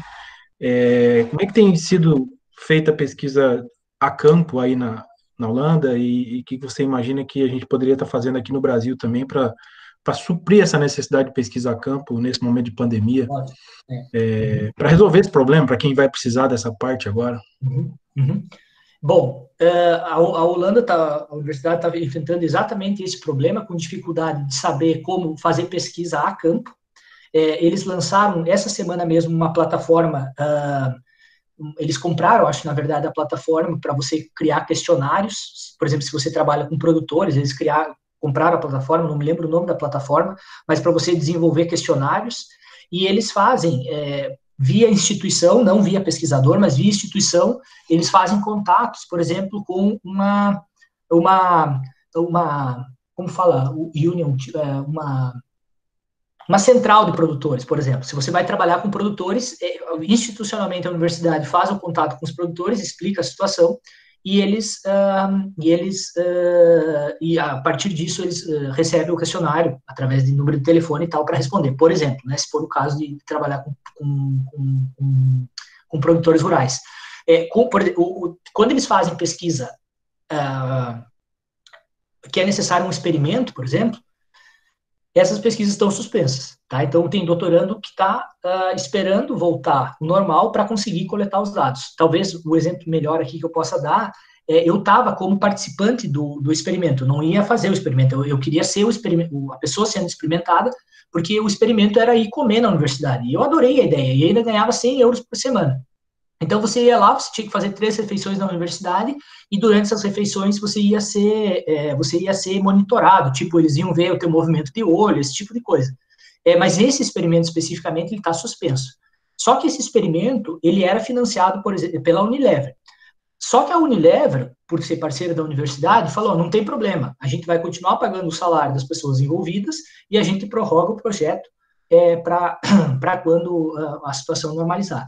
Mas eu tinha colocado, né, quando é que a situação vai normalizar aqui, é, a partir do 1 de maio, que é, é 1 de junho, que é semana que vem, a universidade vai começar é, a abrir uh, as primeiras, as primeiras uh, portas. Você vai poder, por exemplo, eu, por exemplo, poder voltar para a universidade para é, ter algum contato com pessoas, mas, claro, toda aquela história do metro e meio, tudo aquele esquema lá, mas uh, vai ser, vai estar tá aos poucos retornando. Mas presencialmente, aluno, em sala de aula, não. Isso vai, eu acredito que vai demorar. As pesquisas vão ser as primeiras a voltar, sem dúvida nenhuma, porque o foco deles é pesquisa. Alguém perguntou só uma coisa aqui. Obrigado, Fábio, estou com saudade de ti. É, alguém perguntou o problema de nós não, tá, não consegue fazer o doutorado. É, eu não sei, na verdade, é, na seleção do doutorado, não é as notas que contam, tá? Não, eles, não, eles não olham notas. Eles olham todo um, um, um outro, um outro é, por exemplo, se você tem a sua experiência em pesquisa, é o que, que você é capaz, é, o que, que você já fez, se você fala outras línguas, e também depende muito do, do projeto que você vai se encaixar, porque às vezes eles requerem, por exemplo, que você tenha um background de estatística, ou que você consiga é, desenvolver um experimento. Então, existem é, outras coisas que são analisadas que não as notas. O que eu disse das notas não era do doutorado, o que eu disse das notas é que durante o, eles utilizam uma prova como se fosse o nosso vestibular, mas eles também utilizam as notas uh, durante o ensino médio para a pessoa decidir é, em qual curso de graduação ela vai se encaixar. Então, não sei se tinha ficado claro, é, é isso. Professor, posso fazer uma pergunta? Claro. É, meu nome é Matheus, boa tarde a todos também. É, na verdade, são, são duas questões. Eu queria saber se aí na, na universidade que o senhor está e, na, na região tem algum, algum se, se você vê alguma aproximação das técnicas industriais de produção e gestão na, nas pesquisas de agronegócio, essa é uma questão.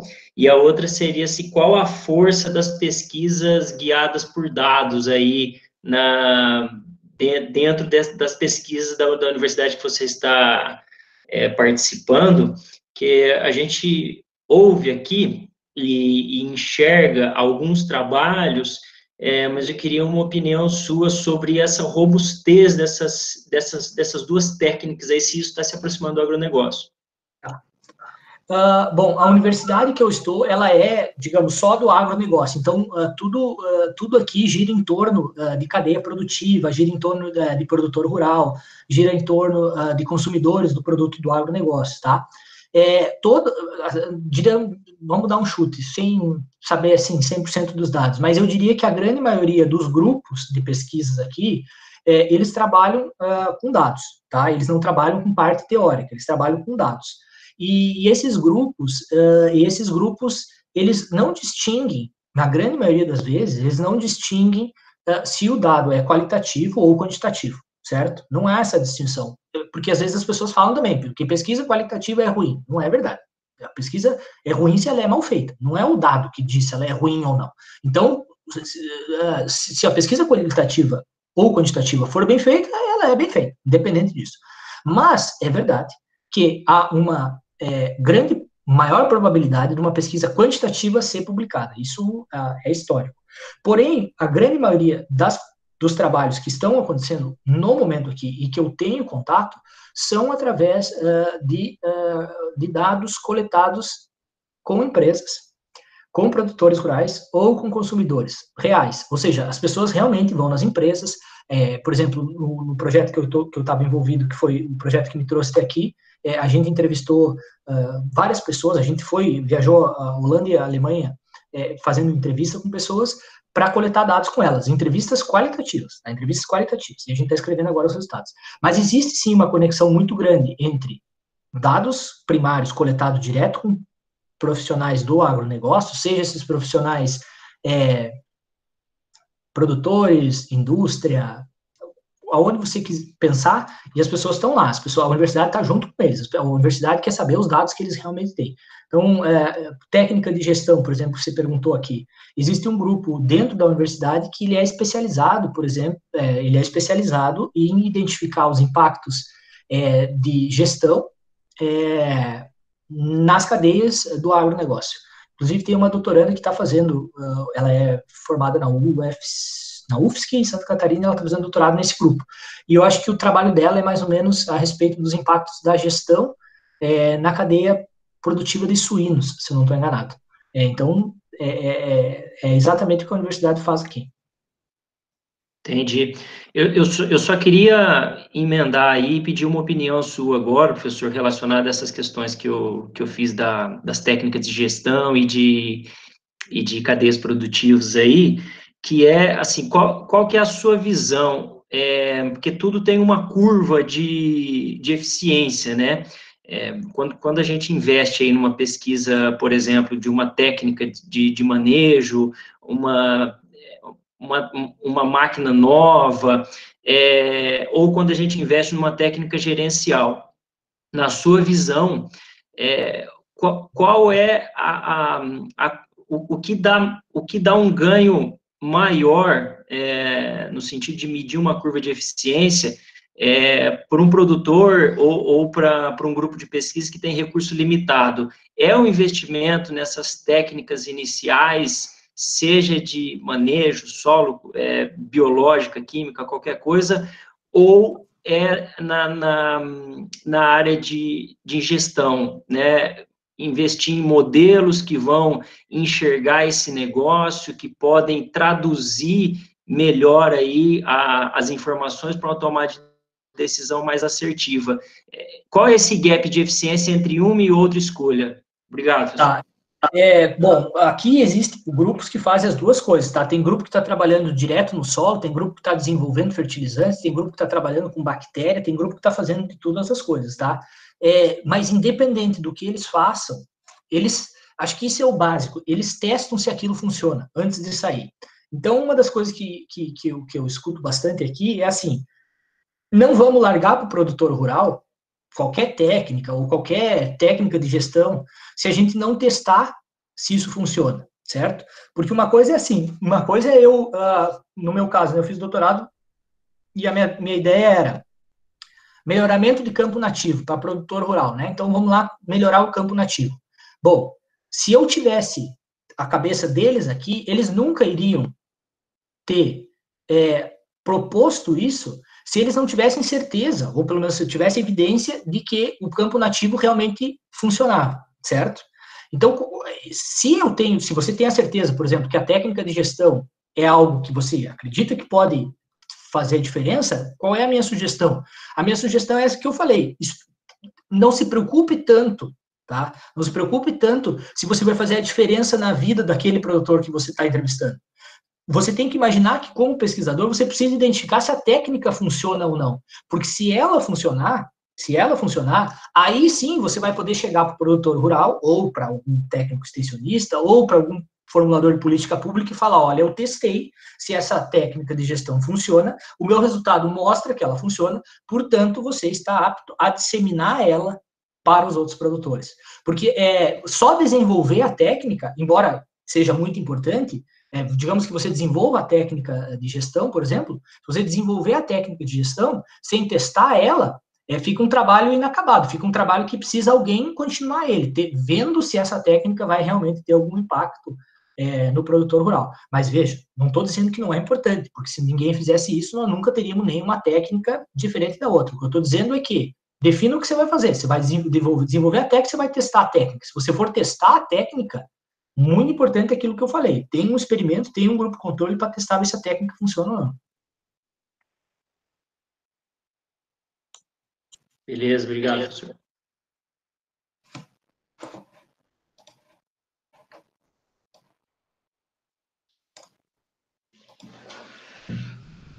Pessoal, mais alguma questão, alguma pergunta, alguma conversa com o professor João?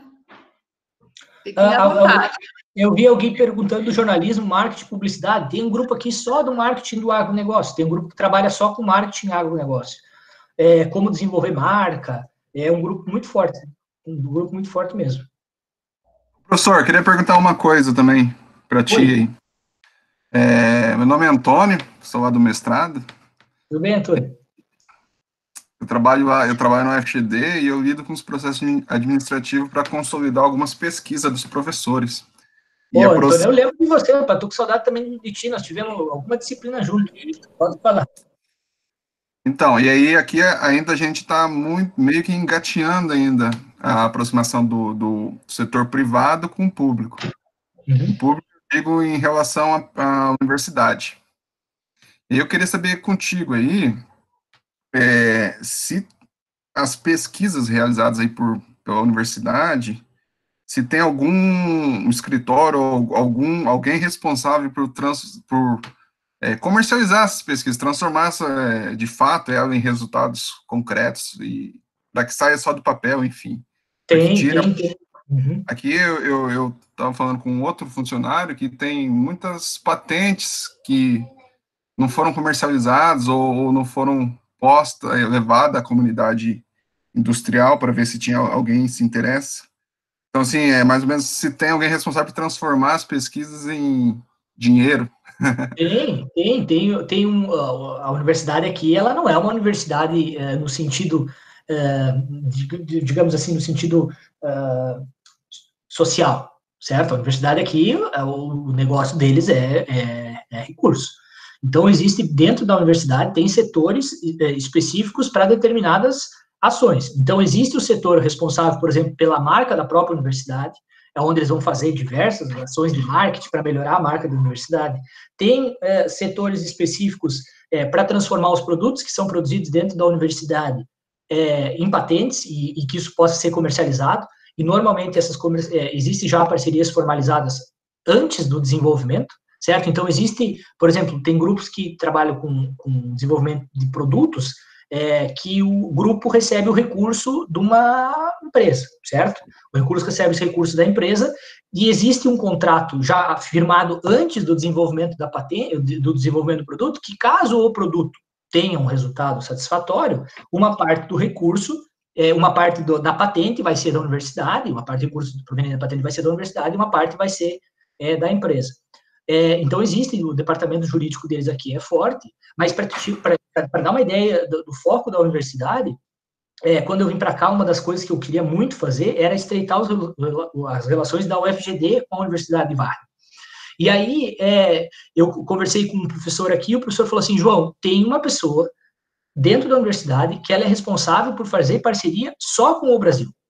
Essa pessoa ela não faz mais nada, ela fica só dentro da universidade, o escritório dela é gigante, fica só fazendo parceria com o Brasil. Então você chega, eu fui lá conversar com ela, eu falei, ó, nós temos, é, a nossa universidade, é, nós temos programa de pós-graduação assim, assado, e aí a gente começa a desenvolver, mas qual é a primeira pergunta dela, que ela, qual é a primeira pergunta que ela faz? A primeira pergunta que ela faz é, tem recurso? Essa é a primeira coisa que ela quer. Então, na verdade, é um foco, né? É o foco do, é o foco do, é. do recurso. É muito difícil fazer parceria aqui se você não tiver recurso.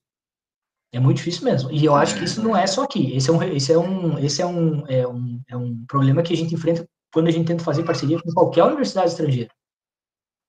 Ainda mais nessa pandemia. A, a, as universidades brasileiras, elas, se elas quiserem fazer parceria com universidades estrangeiras boas, elas precisam entender que elas precisam investir recursos para fazer as parcerias. Não tem como fazer uma parceria sem recurso.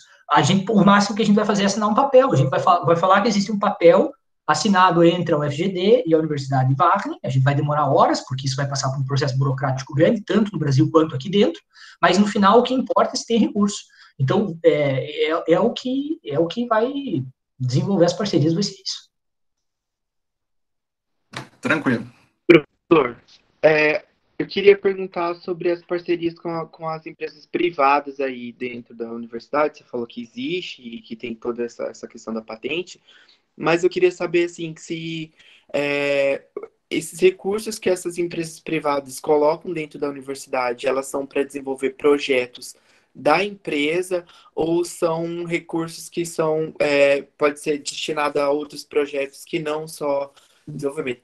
Na verdade, o que queria saber é assim, o resultado das pesquisas ele fica a, a é, é desenvolvido para a empresa ou para a universidade? Com quem que fica esse resultado? Tá, é, os resultados, até onde eu sei, existe um contrato entre a universidade e essas empresas, onde o resultado da pesquisa ele vai ser publicado independente do que a empresa quiser, certo? Imagine que você chega num resultado lá que o, o, produto da empresa X não funciona, por exemplo. Então, existe o, o, o compromisso firmado de contrato, é, isso é até onde eu sei, e que isso pode ser publicado se o pesquisador quiser, certo?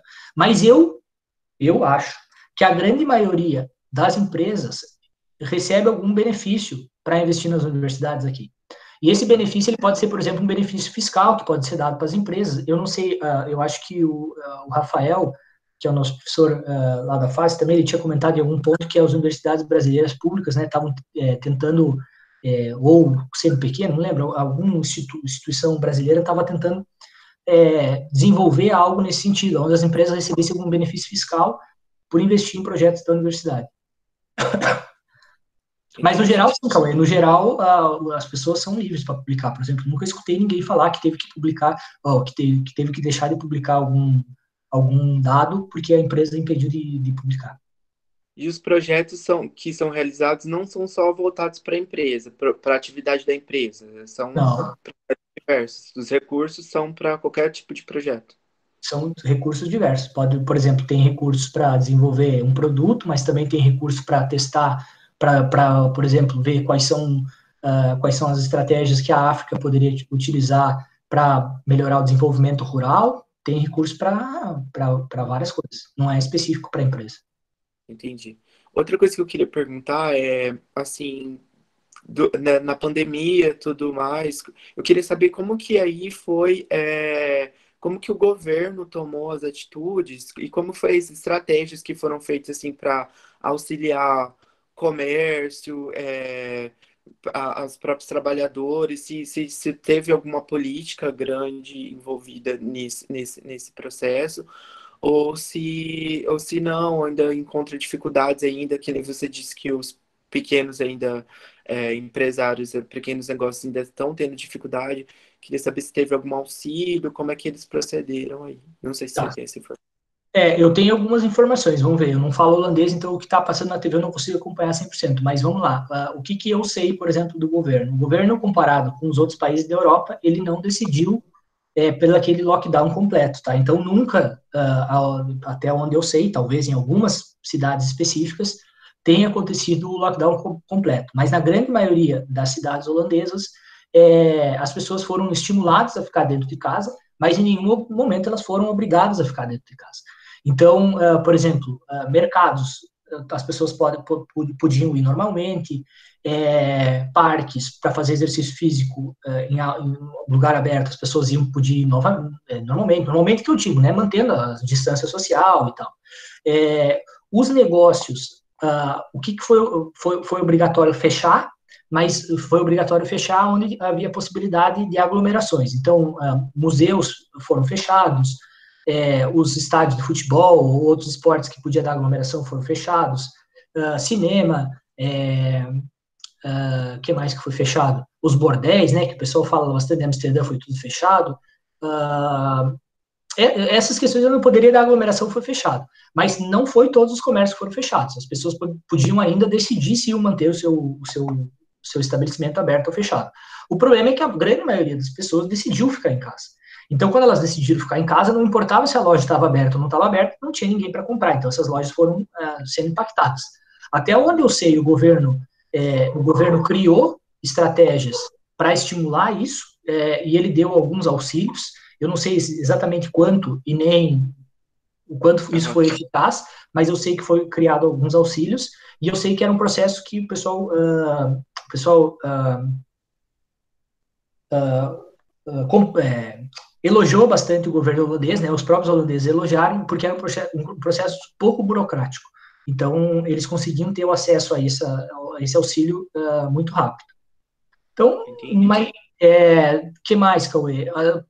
Nas ruas, hoje, se a gente caminha, a maioria das pessoas não usa máscara, tá? Embora eu, eu acho que tem que usar, a maioria das pessoas aqui no ano não usa máscara, acho que, sei lá, 95% das pessoas não usa máscara, uh, mas todos respeitam uh, o trabalho de casa, todo mundo fica a maioria do tempo dentro de casa, os mercados, quando a gente vai, tem um número limitado de pessoas que podem entrar, mas a partir do dia primeiro, restaurantes, bares eh, vão começar a reabrir.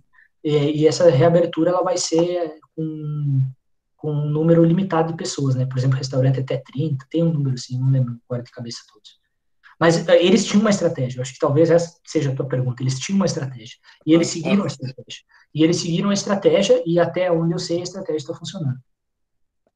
É porque, assim, em comparação aqui com o Brasil, ainda a gente está com, com umas informações meio difusas, né? Mas é, aqui em Dourados mesmo, agora eles reaviram, é, revisaram o, o, o, toque de recolher, que antes era 10 horas, agora passou para as 8 horas devido ao aumento dos casos, mas eu fico pensando assim mais por conta da, da parte econômica mesmo, que é uma preocupação mesmo, porque, o que o senhor falou, independente se a pessoa se isso é uma imposição do governo ou não, as pessoas naturalmente deixam de circular e isso acaba afetando o comércio. Mas é, queria saber como que era e se tinha é. tido algum eu não vejo nenhuma solução a não ser é, o governo, Cauê. Eu não, sei, não vejo nenhuma solução a não ser o governo investir para ajudar esses, é, é, é esses, esses é, essas pessoas. não vejo outra situação. Não, não vejo outra maneira. Obrigado, professor.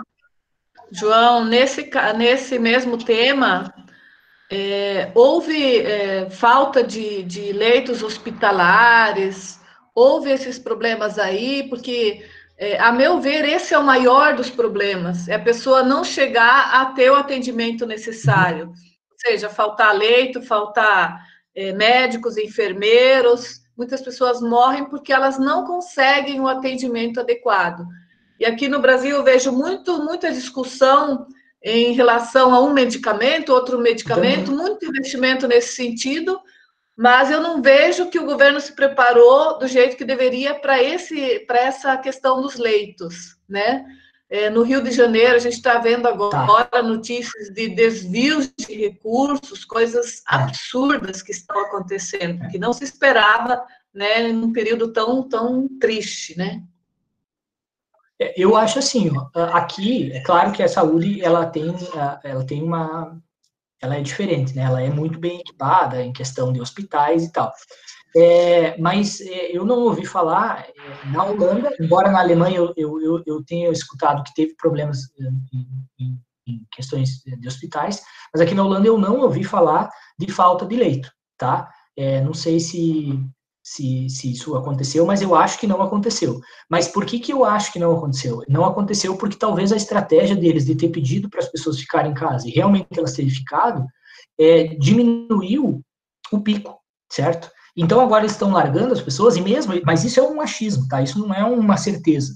O que me parece é que agora eles largando as pessoas, é, mesmo mesmo mesmo uh, que as pessoas se contaminem, provavelmente elas vão pegar o, o vírus, há espaço suficiente é, dentro dos hospitais. É, eu acho que essa, na verdade, é uma das variáveis mais importantes que eles levaram em consideração para decidir abrir o, o país novamente a partir de 1 de junho. Eles viram que, consideraram que, mesmo abrindo, e as pessoas é, se contaminando, eles ainda assim têm capacidade é, hospitalar de receber essas pessoas. Mas, assim, é, é, as restrições, elas não acabaram, né? A gente não pode imaginar que está normal, as restrições continuam, a restrição do metro e meio continua, a restrição de aglomerações continua, o campeonato holandês aqui ele foi cancelado, o campeonato de futebol foi cancelado, então tem várias, o museu também, o museu, imagina um museu gigante, por exemplo, é, que, sei lá, cabia mil pessoas, ou duas mil pessoas, agora vai, vai eles vão abrir para 30 pessoas. Então, não existem as restrições ainda. Mas é, o que eu escuto é que a, eles imaginam que mesmo se as pessoas indo para a rua e se contaminando, ainda assim vai ter, vai ter é, leito, leito e pessoal suficiente para atender eles. Ó, o Gabriel quer uma, uma dúvida?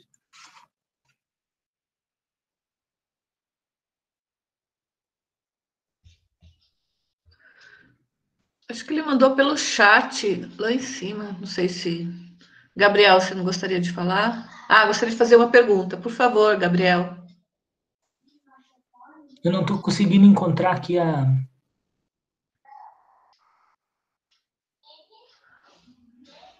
Se você não consegue, então pode, pode digitar, Gabriel. Ele disse que não está conseguindo. Ah, tá. Vamos ver se ele consegue. Enquanto isso, pessoal, só uma, é, só lembrando ao, a todos os que estão participando que para fins de certificado precisam se inscrever, tá? Então o link já foi posto aí no chat, mas também foi enviado por e-mail. Lembrando que vocês precisam se inscrever no evento e na atividade, porque esse evento ele vai ser composto de várias atividades, tá? Dá para me escutar aí? Agora estou te escutando, baixinho, mas estou te escutando, Gabriel. Não, eu tinha perguntado anteriormente com, é, com relação à internacional, é, motivação da internacionalização da universidade aí e com relação a outros idiomas em comparação à nossa e ao nosso programa, visto que aí o pessoal, como você já comentou, termina o ensino médio falando três idiomas né, bem diferente da nossa realidade. Queria que você fizesse uma comparação, um comentário sobre essas duas questões. Obrigado. Ah, é, obrigado, Gabriel. Estou com saudade de ti, saudade do Cauê, são meus orientados. Ah, bom, o, a internacionalização na pós-graduação da universidade, tá? Todos os mestrandos e todos os doutorandos são estimulados a fazer parte da sua pós-graduação uh, fora, tá? É, o, o, mestrado, a maioria das pessoas vai fazer um, uma, um projeto em outro país, tá? Através de, por exemplo, sei lá, uma pesquisa de três meses num país europeu. Claro, a gente tem que considerar que é, eles têm dinheiro para isso, mas de qualquer forma eles são estimulados a ir. E os doutorandos, assim, os doutorandos, é, é, eu diria que é impossível esses doutorandos não ser, interna entre aspas, internacionalizados, tá?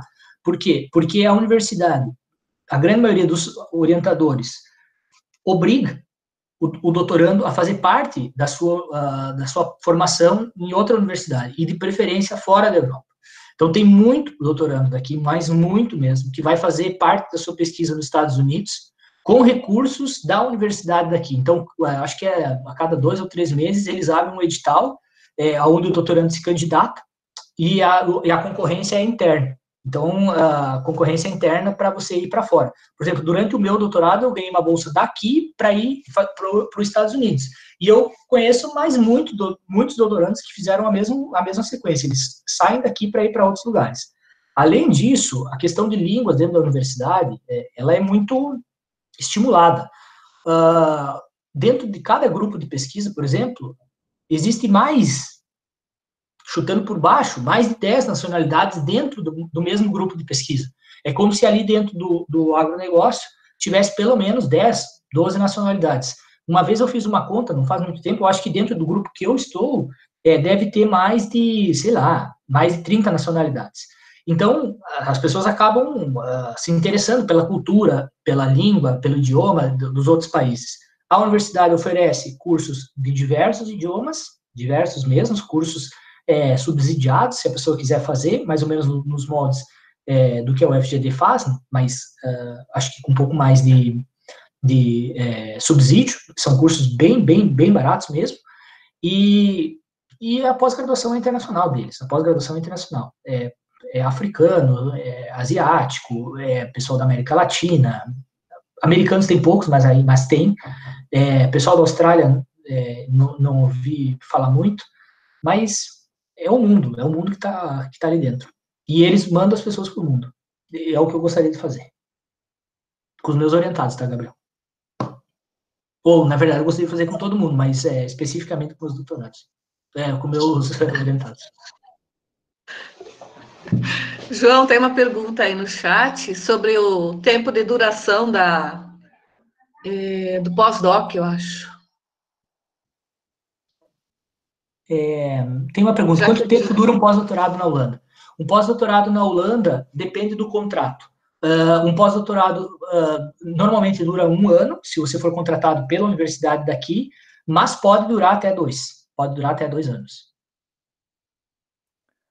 Oi, professor. Nayara, tudo bom? Oi, Nayara. Tudo bem? Tudo jóia. Professor, é, eu gostaria que o senhor falasse um pouquinho como que é a força do grupo de economia comportamental aí dentro da universidade. Olha, era, é o seguinte, ó, não existe um grupo de economia comportamental específico, porque a economia comportamental está em todos os grupos da universidade. É, a universidade, se você entrar nas vagas, você, por exemplo, você vai ver economia comportamental uh, aplicada para o consumidor. Depois vai ter economia comportamental aplicada para a economia específica. Depois vai ter economia comportamental aplicada para desenvolvimento rural. Depois vai ter economia comportamental é, para a parte ambiental. Então, uh, não existe, pelo menos até onde eu sei, um grupo específico de economia comportamental aqui dentro, mas a economia comportamental permeia, se não 100%, a grande maioria dos grupos uh, de pesquisa daqui. A universidade, a estrutura dela é assim, a universidade tem sete grandes faculdades, eu estou dentro da faculdade de ciências sociais, dentro da faculdade de ciências sociais estão os grupos de pesquisa. Então, eu faço parte de um desses grupos. E, mas, assim, dentro da faculdade de Ciências Sociais deve ter, aí, sei lá, 40, 50 grupos, e, e a grande maioria deles, em algum ponto, ou pelo menos um ou dois doutorandos, um ou dois professores, tá dentro da economia comportamental. E isso é algo que eu acho impressionante. Eu acho impressionante a demora que o, que o, que o Brasil está uh, uh, levando para incorporar a economia comportamental dentro das universidades. Isso eu não sou economista, eu sou veterinário. É um negócio impressionante, porque se você pegar a maioria dos livros atuais sobre, é, sobre é, ciências sociais, qualquer livro que você pegar é, sobre ciências sociais, você vai ver o impacto das descobertas do Kenny, você vai ver o, os impactos da descoberta do Toller, você vai ver o impacto da descoberta de vários pesquisadores da área de economia comportamental. Então, eu acho uma pena, mas eu, eu vejo também cada vez mais isso sendo inserido dentro das universidades brasileiras. Tomara que, que não demore tanto, tomara que isso se dissemine, que aí vai ser mais vaga para os pessoal que gosta de economia é, comportamental trabalhar. Professor, é até interessante porque é, justamente a realidade da pandemia está trazendo muito aqui dentro do Brasil pesquisas voltadas para a economia comportamental.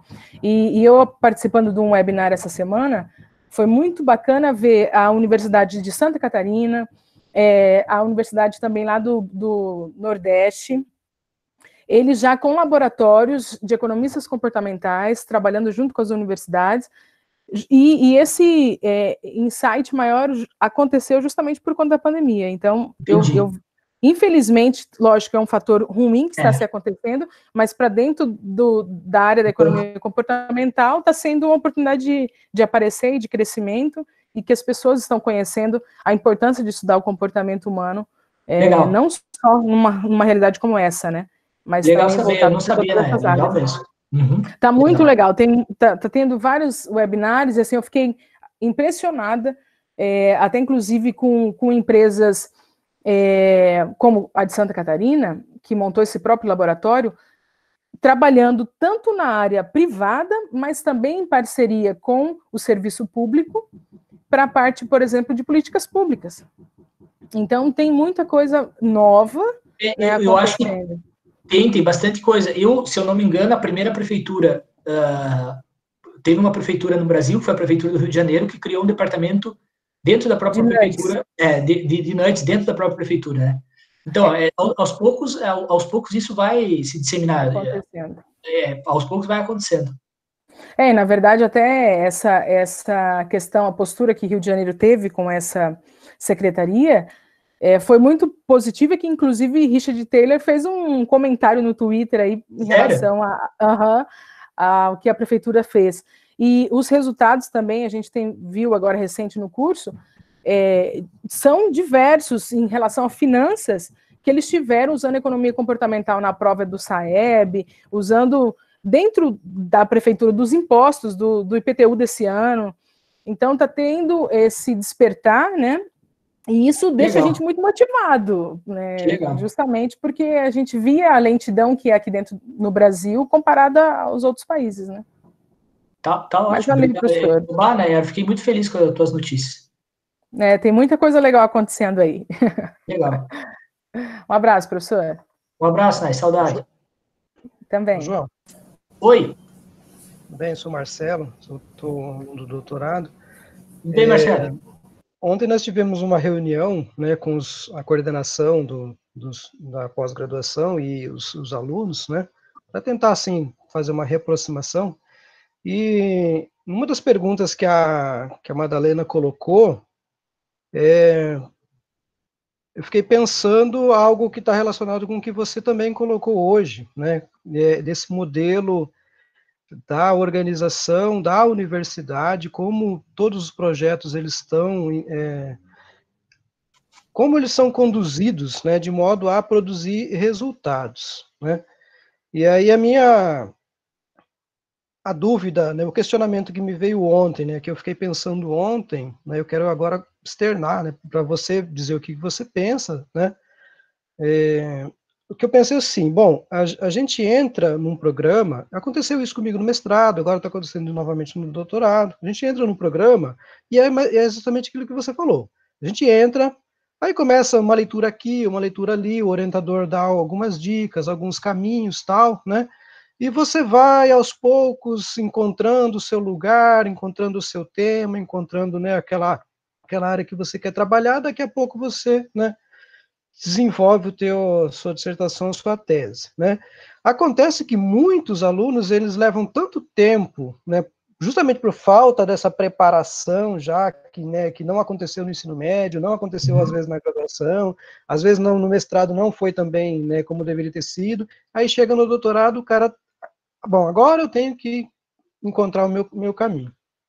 É. E aí a minha, o meu questionamento é o seguinte: considerando né, a cultura, próprio próprio base né, educacional que a gente tem na Europa, né, em comparação com a realidade brasileira.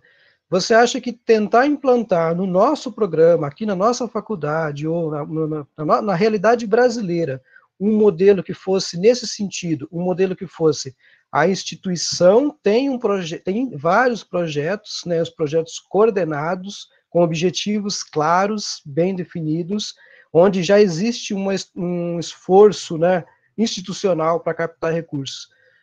Implantar esse modelo na nossa realidade seria viável e seria possível? Ou a gente está aí numa utopia, algo que, não, olha, no Brasil não funciona, no Brasil não rola? Bom, Marcelo, agora tu, é, eu acho que é a pergunta do um milhão de reais aí. É... Pode ser que eu seja um sonhador, Marcelo, pode ser que eu seja um sonhador.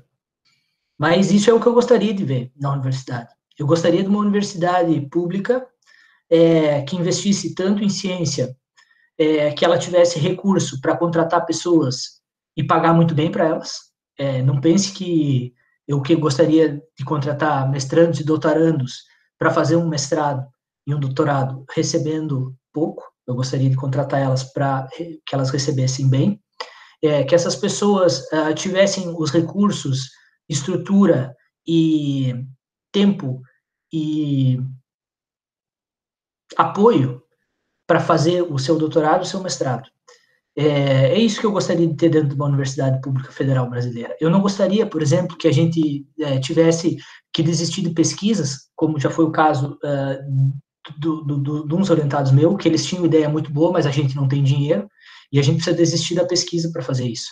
É, isso, uh, isso é, isso é, uh, isso é isso é, não é desestimulante, mas é, ele, é, ele é um, é fazer gambiarra, é fazer gambiarra na pós-graduação. A gente, pra, se a gente quer ter uma pós-graduação séria, a gente precisa de pessoas com recurso.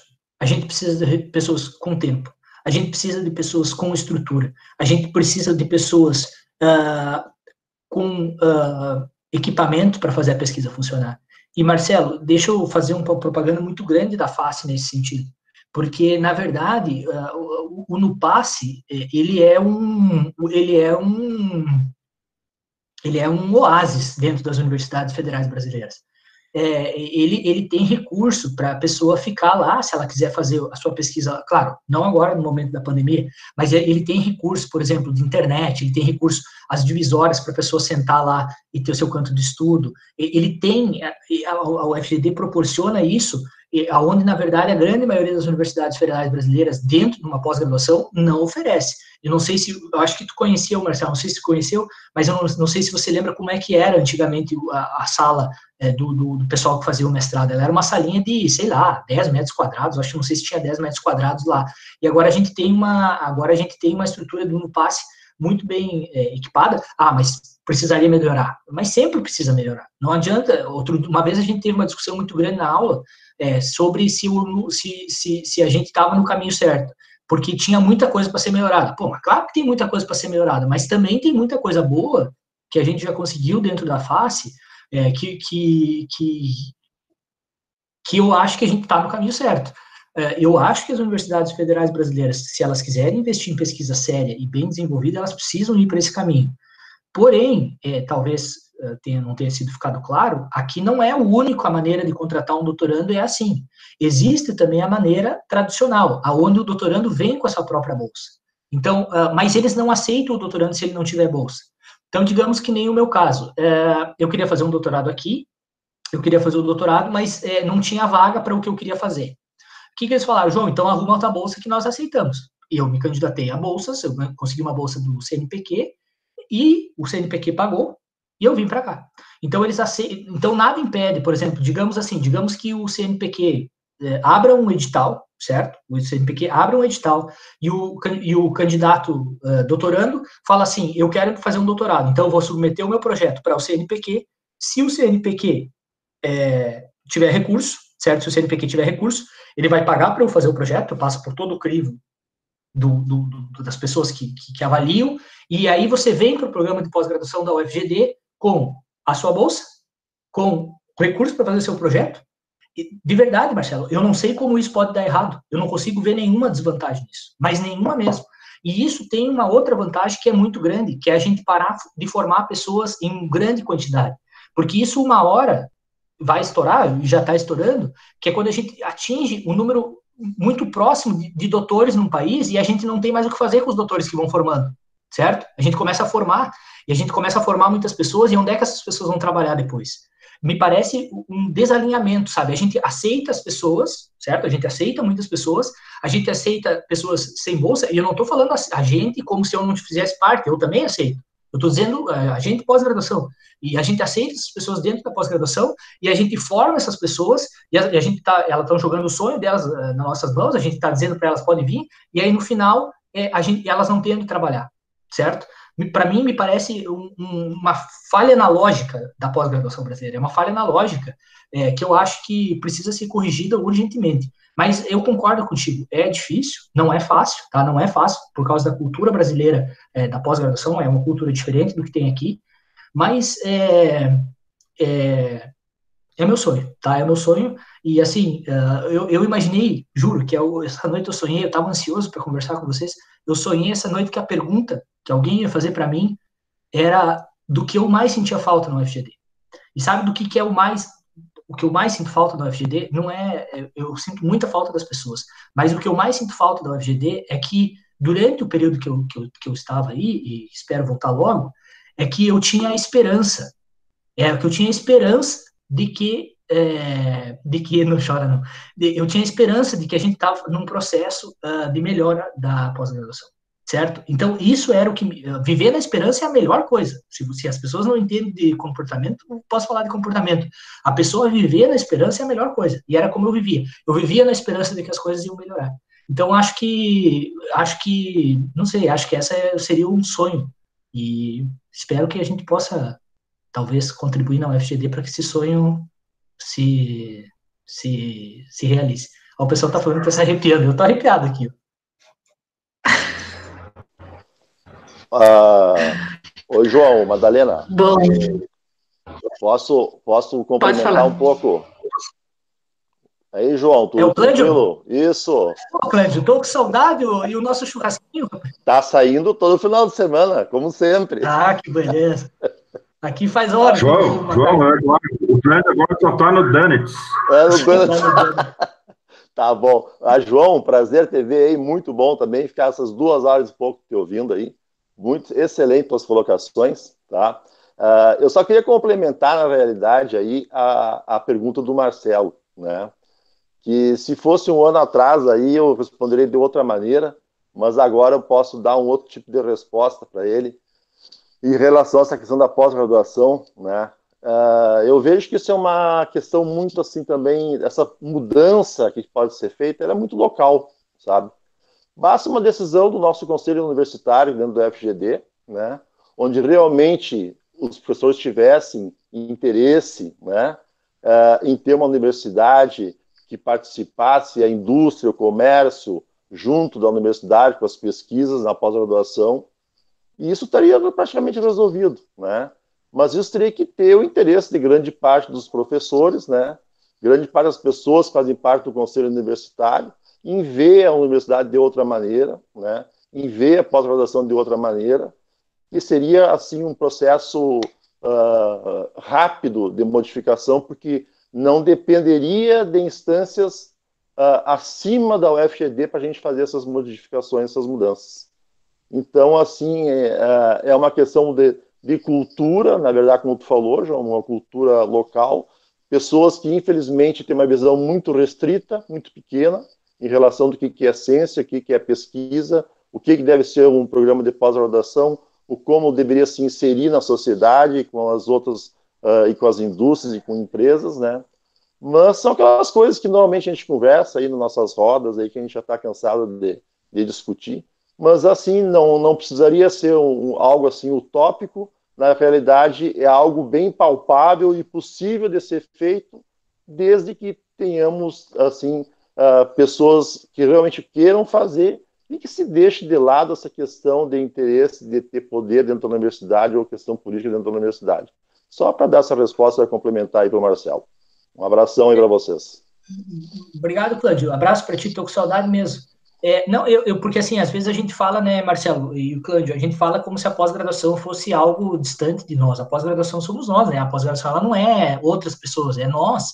Então, uh, assim, a pessoa tem que ter muito, a pessoa tem que ter muito, uh, a pessoa tem que ter muita coragem, muito, muita vontade de fazer isso. A pessoa precisa se inserir nesses debates, precisa trazer ideias diferentes, precisa ir no conselho universitário, precisa ir na CAPES, precisa ir no CNPq, ou em outras instâncias, para mostrar realmente a opinião é, de um grupo que pensa diferente, porque é, isso é, é pode ser que eu esteja sonhando, pode ser de verdade. Eu, eu uma vez eu achava que eu não estava sonhando, mas agora eu tô, eu tô achando que eu estou viajando demais. Mas de qualquer maneira, é, é algo que eu imagino que não seria assim.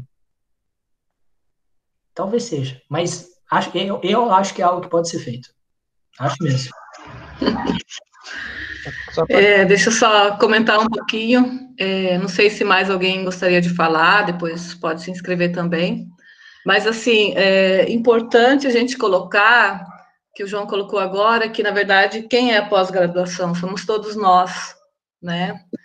E não nós, professores, somos professores, alunos, técnicos.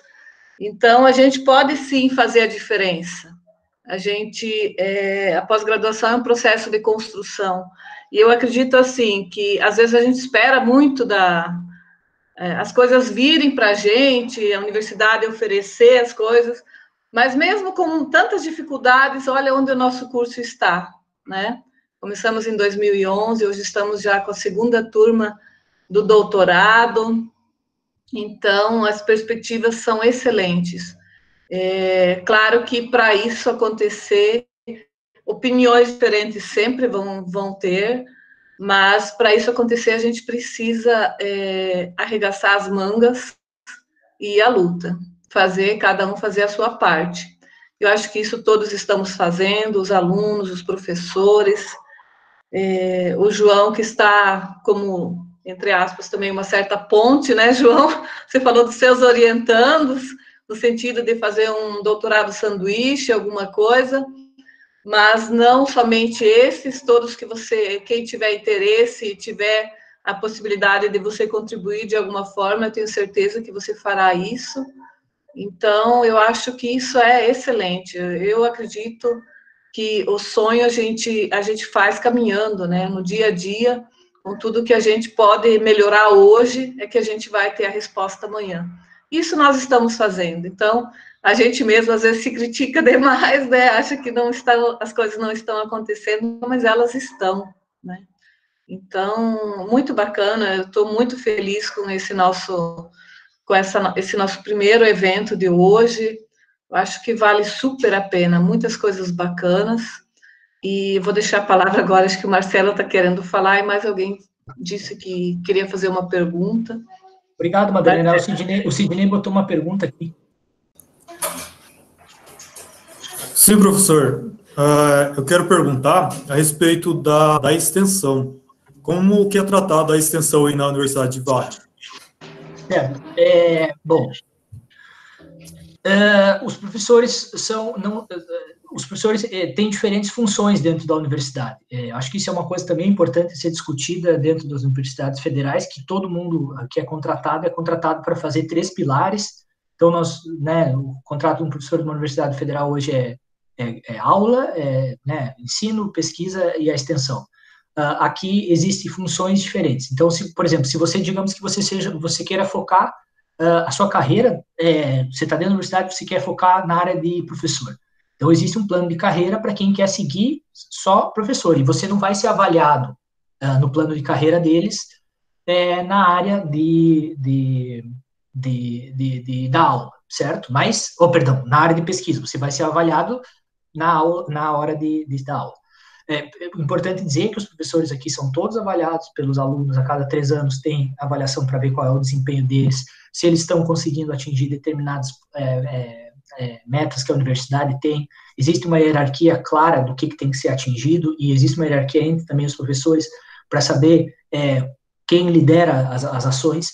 Mas, bom, já estou viajando. Mas uh, dentro da extensão, existe uma, uma, uma, um alinhamento muito grande entre pesquisa e extensão. Entre o, uh, os, existe uma divisão muito grande entre quem quer ir para a carreira acadêmica, é, perdão, entre a carreira de pesquisador e, e, e extensionista e quem quer ir para a carreira de dar aula. Aqui existe essa diferença. Então, as pessoas contratam como, como professor.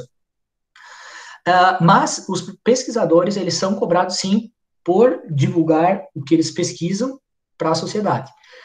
Então, uh, uh, direto pessoas da universidade no noticiário, tá? Direto pessoas dando entrevista, direto pessoas indo para indústria ou para professores, né, pesquisadores, sempre contato. É, para vocês terem uma ideia da importância disso, a cada três meses ou quatro meses, o grupo que eu estou estava fazendo um encontro presencial é, entre os professores com uma pessoa é, especializada em ensinar a falar em público, uh, público mídia, né, que eu digo, por exemplo, para falar para um jornal, para falar para uma televisão. Então, os professores estavam indo lá para aprender como é que falava a, a respeito dos, das pesquisas que tinham, que tinham sido desenvolvidas.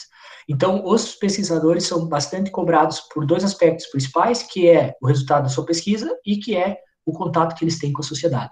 E esse contato não precisa ser especificamente, por exemplo, dando um curso ou uma palestra, mas também pode ser através de mídia. Por exemplo, a gente faz muito extensão e a gente não nota que a gente faz extensão. Quando a gente vai dar uma palestra, é, por exemplo, é, para um público leigo, é, para geral na sociedade, a gente acaba não colocando no nosso Lattes no nosso currículo, e aí a CAPES vem e fala assim, não, mas ninguém está fazendo extensão.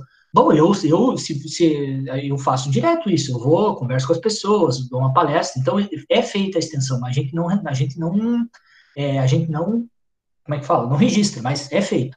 Agora, uh, eu acho que uh, o problema no Brasil é que a gente é cobrado por muitas coisas, né? O pesquisador é cobrado por muita coisa, é, e a gente não consegue acabar dando conta de, dos três pilares que eles gostariam que a gente desse conta.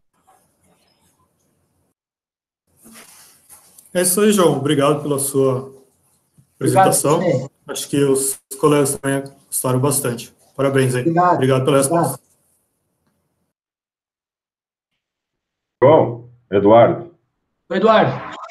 Como é que tá? Tudo bem? Como é que tá teu Grêmio, Eduardo? Hã? é que tá teu Grêmio? Tá, tá tudo parado, tá que nem teu Inter, né? Só estão tão juntinho agora fazendo ações conjuntas, estão de é. maninha. Fazer Legal. Eu fiquei emocionado contigo, João. E principalmente a tua situação tá sem erva aí, né, velho? Oh, isso aí tá me matando. Se alguém souber de alguém que tá vendendo erva, e tem que cuidar o tipo de erva que fala aqui na Holanda. Mas Amsterdã é pertinho. Erva, mata. Amsterdã é 86 quilômetros daí, então é pertinho. Pois é. Pois é, não, eu erva mate. João, obrigado, tá? A gente tava com saudade mesmo, prazer te rever, né? E obrigado. muito obrigado pelas contribuições mesmo, tá?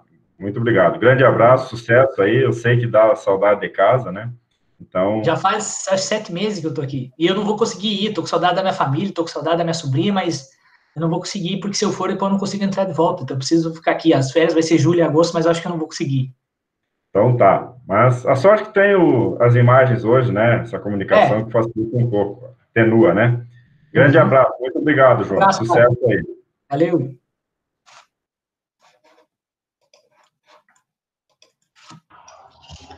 Pessoal, tem mais alguém para fazer alguma pergunta, alguma colocação? Madalena, César aqui. Ok. É, ô, João, falar. Eu, sei pois que é. eu já vou para várias dimensões, mas só, só, voltando um pouco lá quando tu falou sobre as cadeias curtas aí na Holanda, é, eu não sei se você já notou alguma coisa aí na prática, nas ruas, porque o conhecimento teórico ainda não está pronto sobre isso, a pandemia. Essa, existiu alguma readaptação aí na Holanda em relação a essas cadeias? Elas estão, você falou que está funcionando dois dias, mas já era assim? Como é que está isso aí? É, ela está face a face? Ela tem algum aplicativo que vocês estão usando?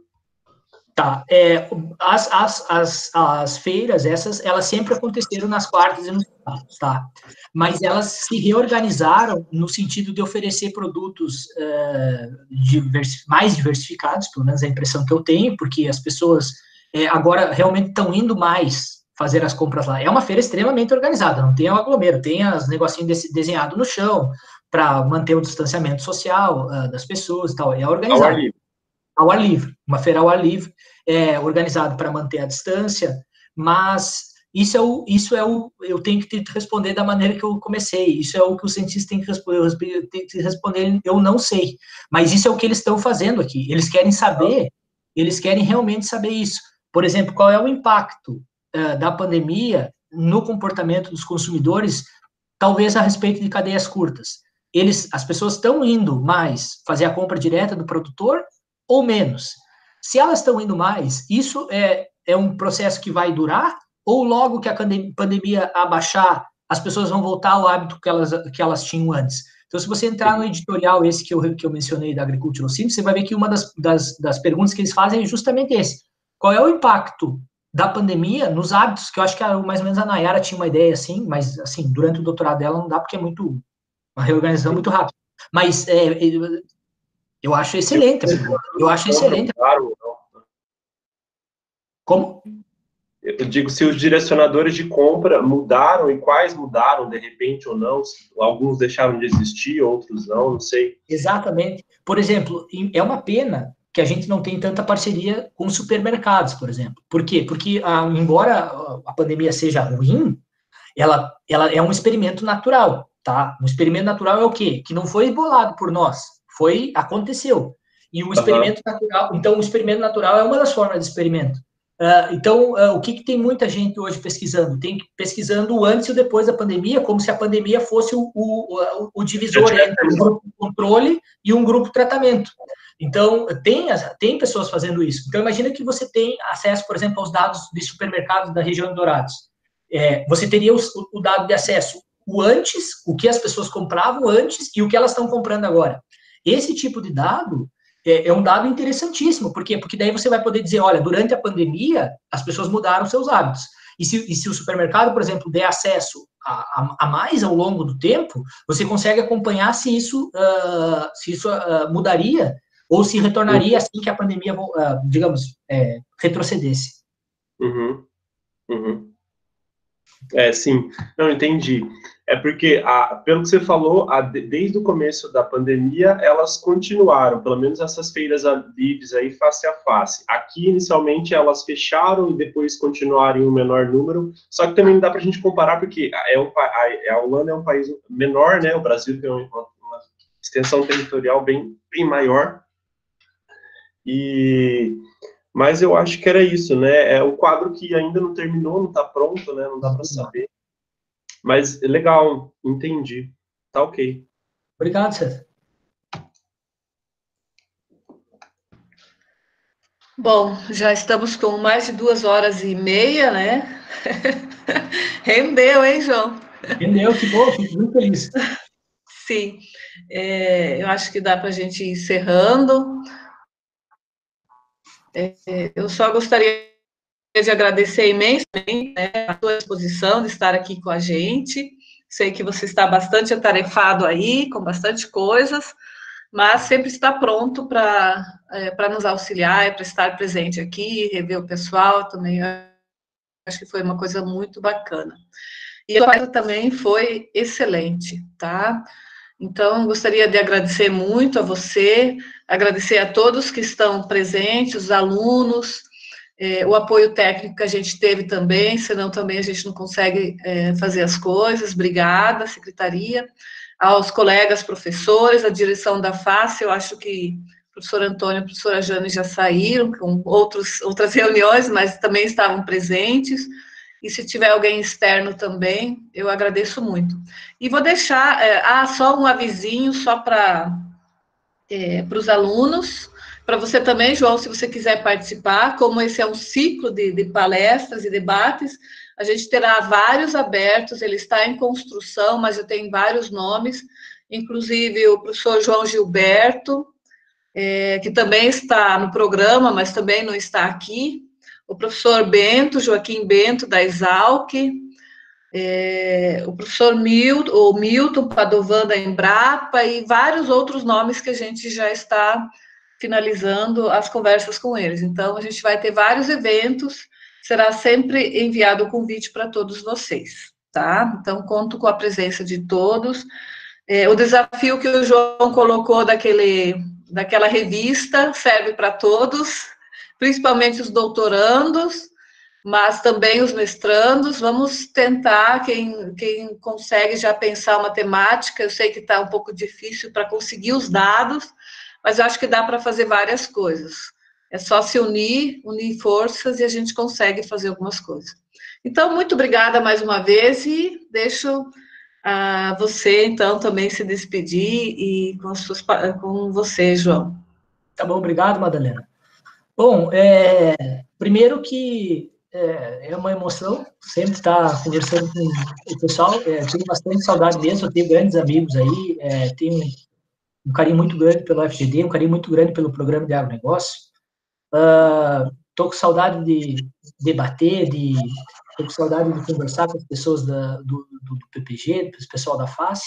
Então, obrigado, Madalena, pela oportunidade, pelo convite de participar. Obrigado, pessoal da FACE, professor Antônio, professora Jane. É, e talvez terminar com uma, uma mensagem que eu falei outro dia numa, na defesa da Luana, e que uh, é importante, eu acho, nesse momento que a gente vive num, numa, numa situação muito de incerteza. Então, pessoal, uh, considerem essa sua pós-graduação, independente de onde você estiver fazendo, como uma etapa muito importante da, da sua formação. É, leve isso extremamente a sério, uh, se dedique o máximo que você conseguir após a graduação Uh, bole os seus projetos para fazer a diferença no mundo, não bole o projeto para fazer a diferença uh, numa, numa pequena região, bole o projeto para fazer diferença no mundo. Se o projeto fizer a diferença na pequena região, ótimo. Se o projeto fizer a diferença para o país, melhor ainda. E se o projeto fizer a diferença para o mundo inteiro, pô, sensacional. Não bola, não pensa pequeno, pensa grande.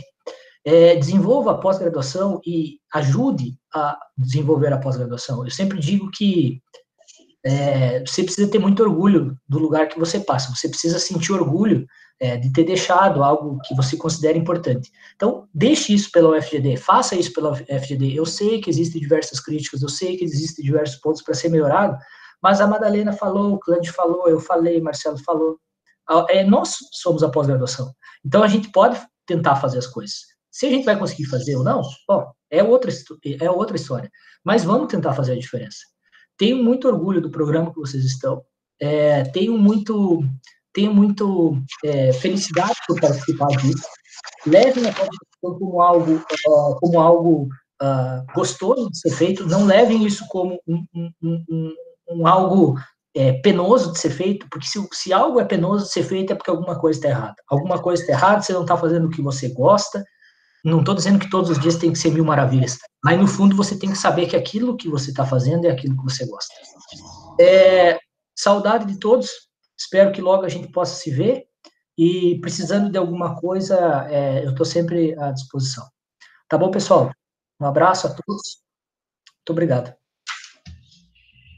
Ok, obrigada, João. Um grande abraço e até mais. Até mais.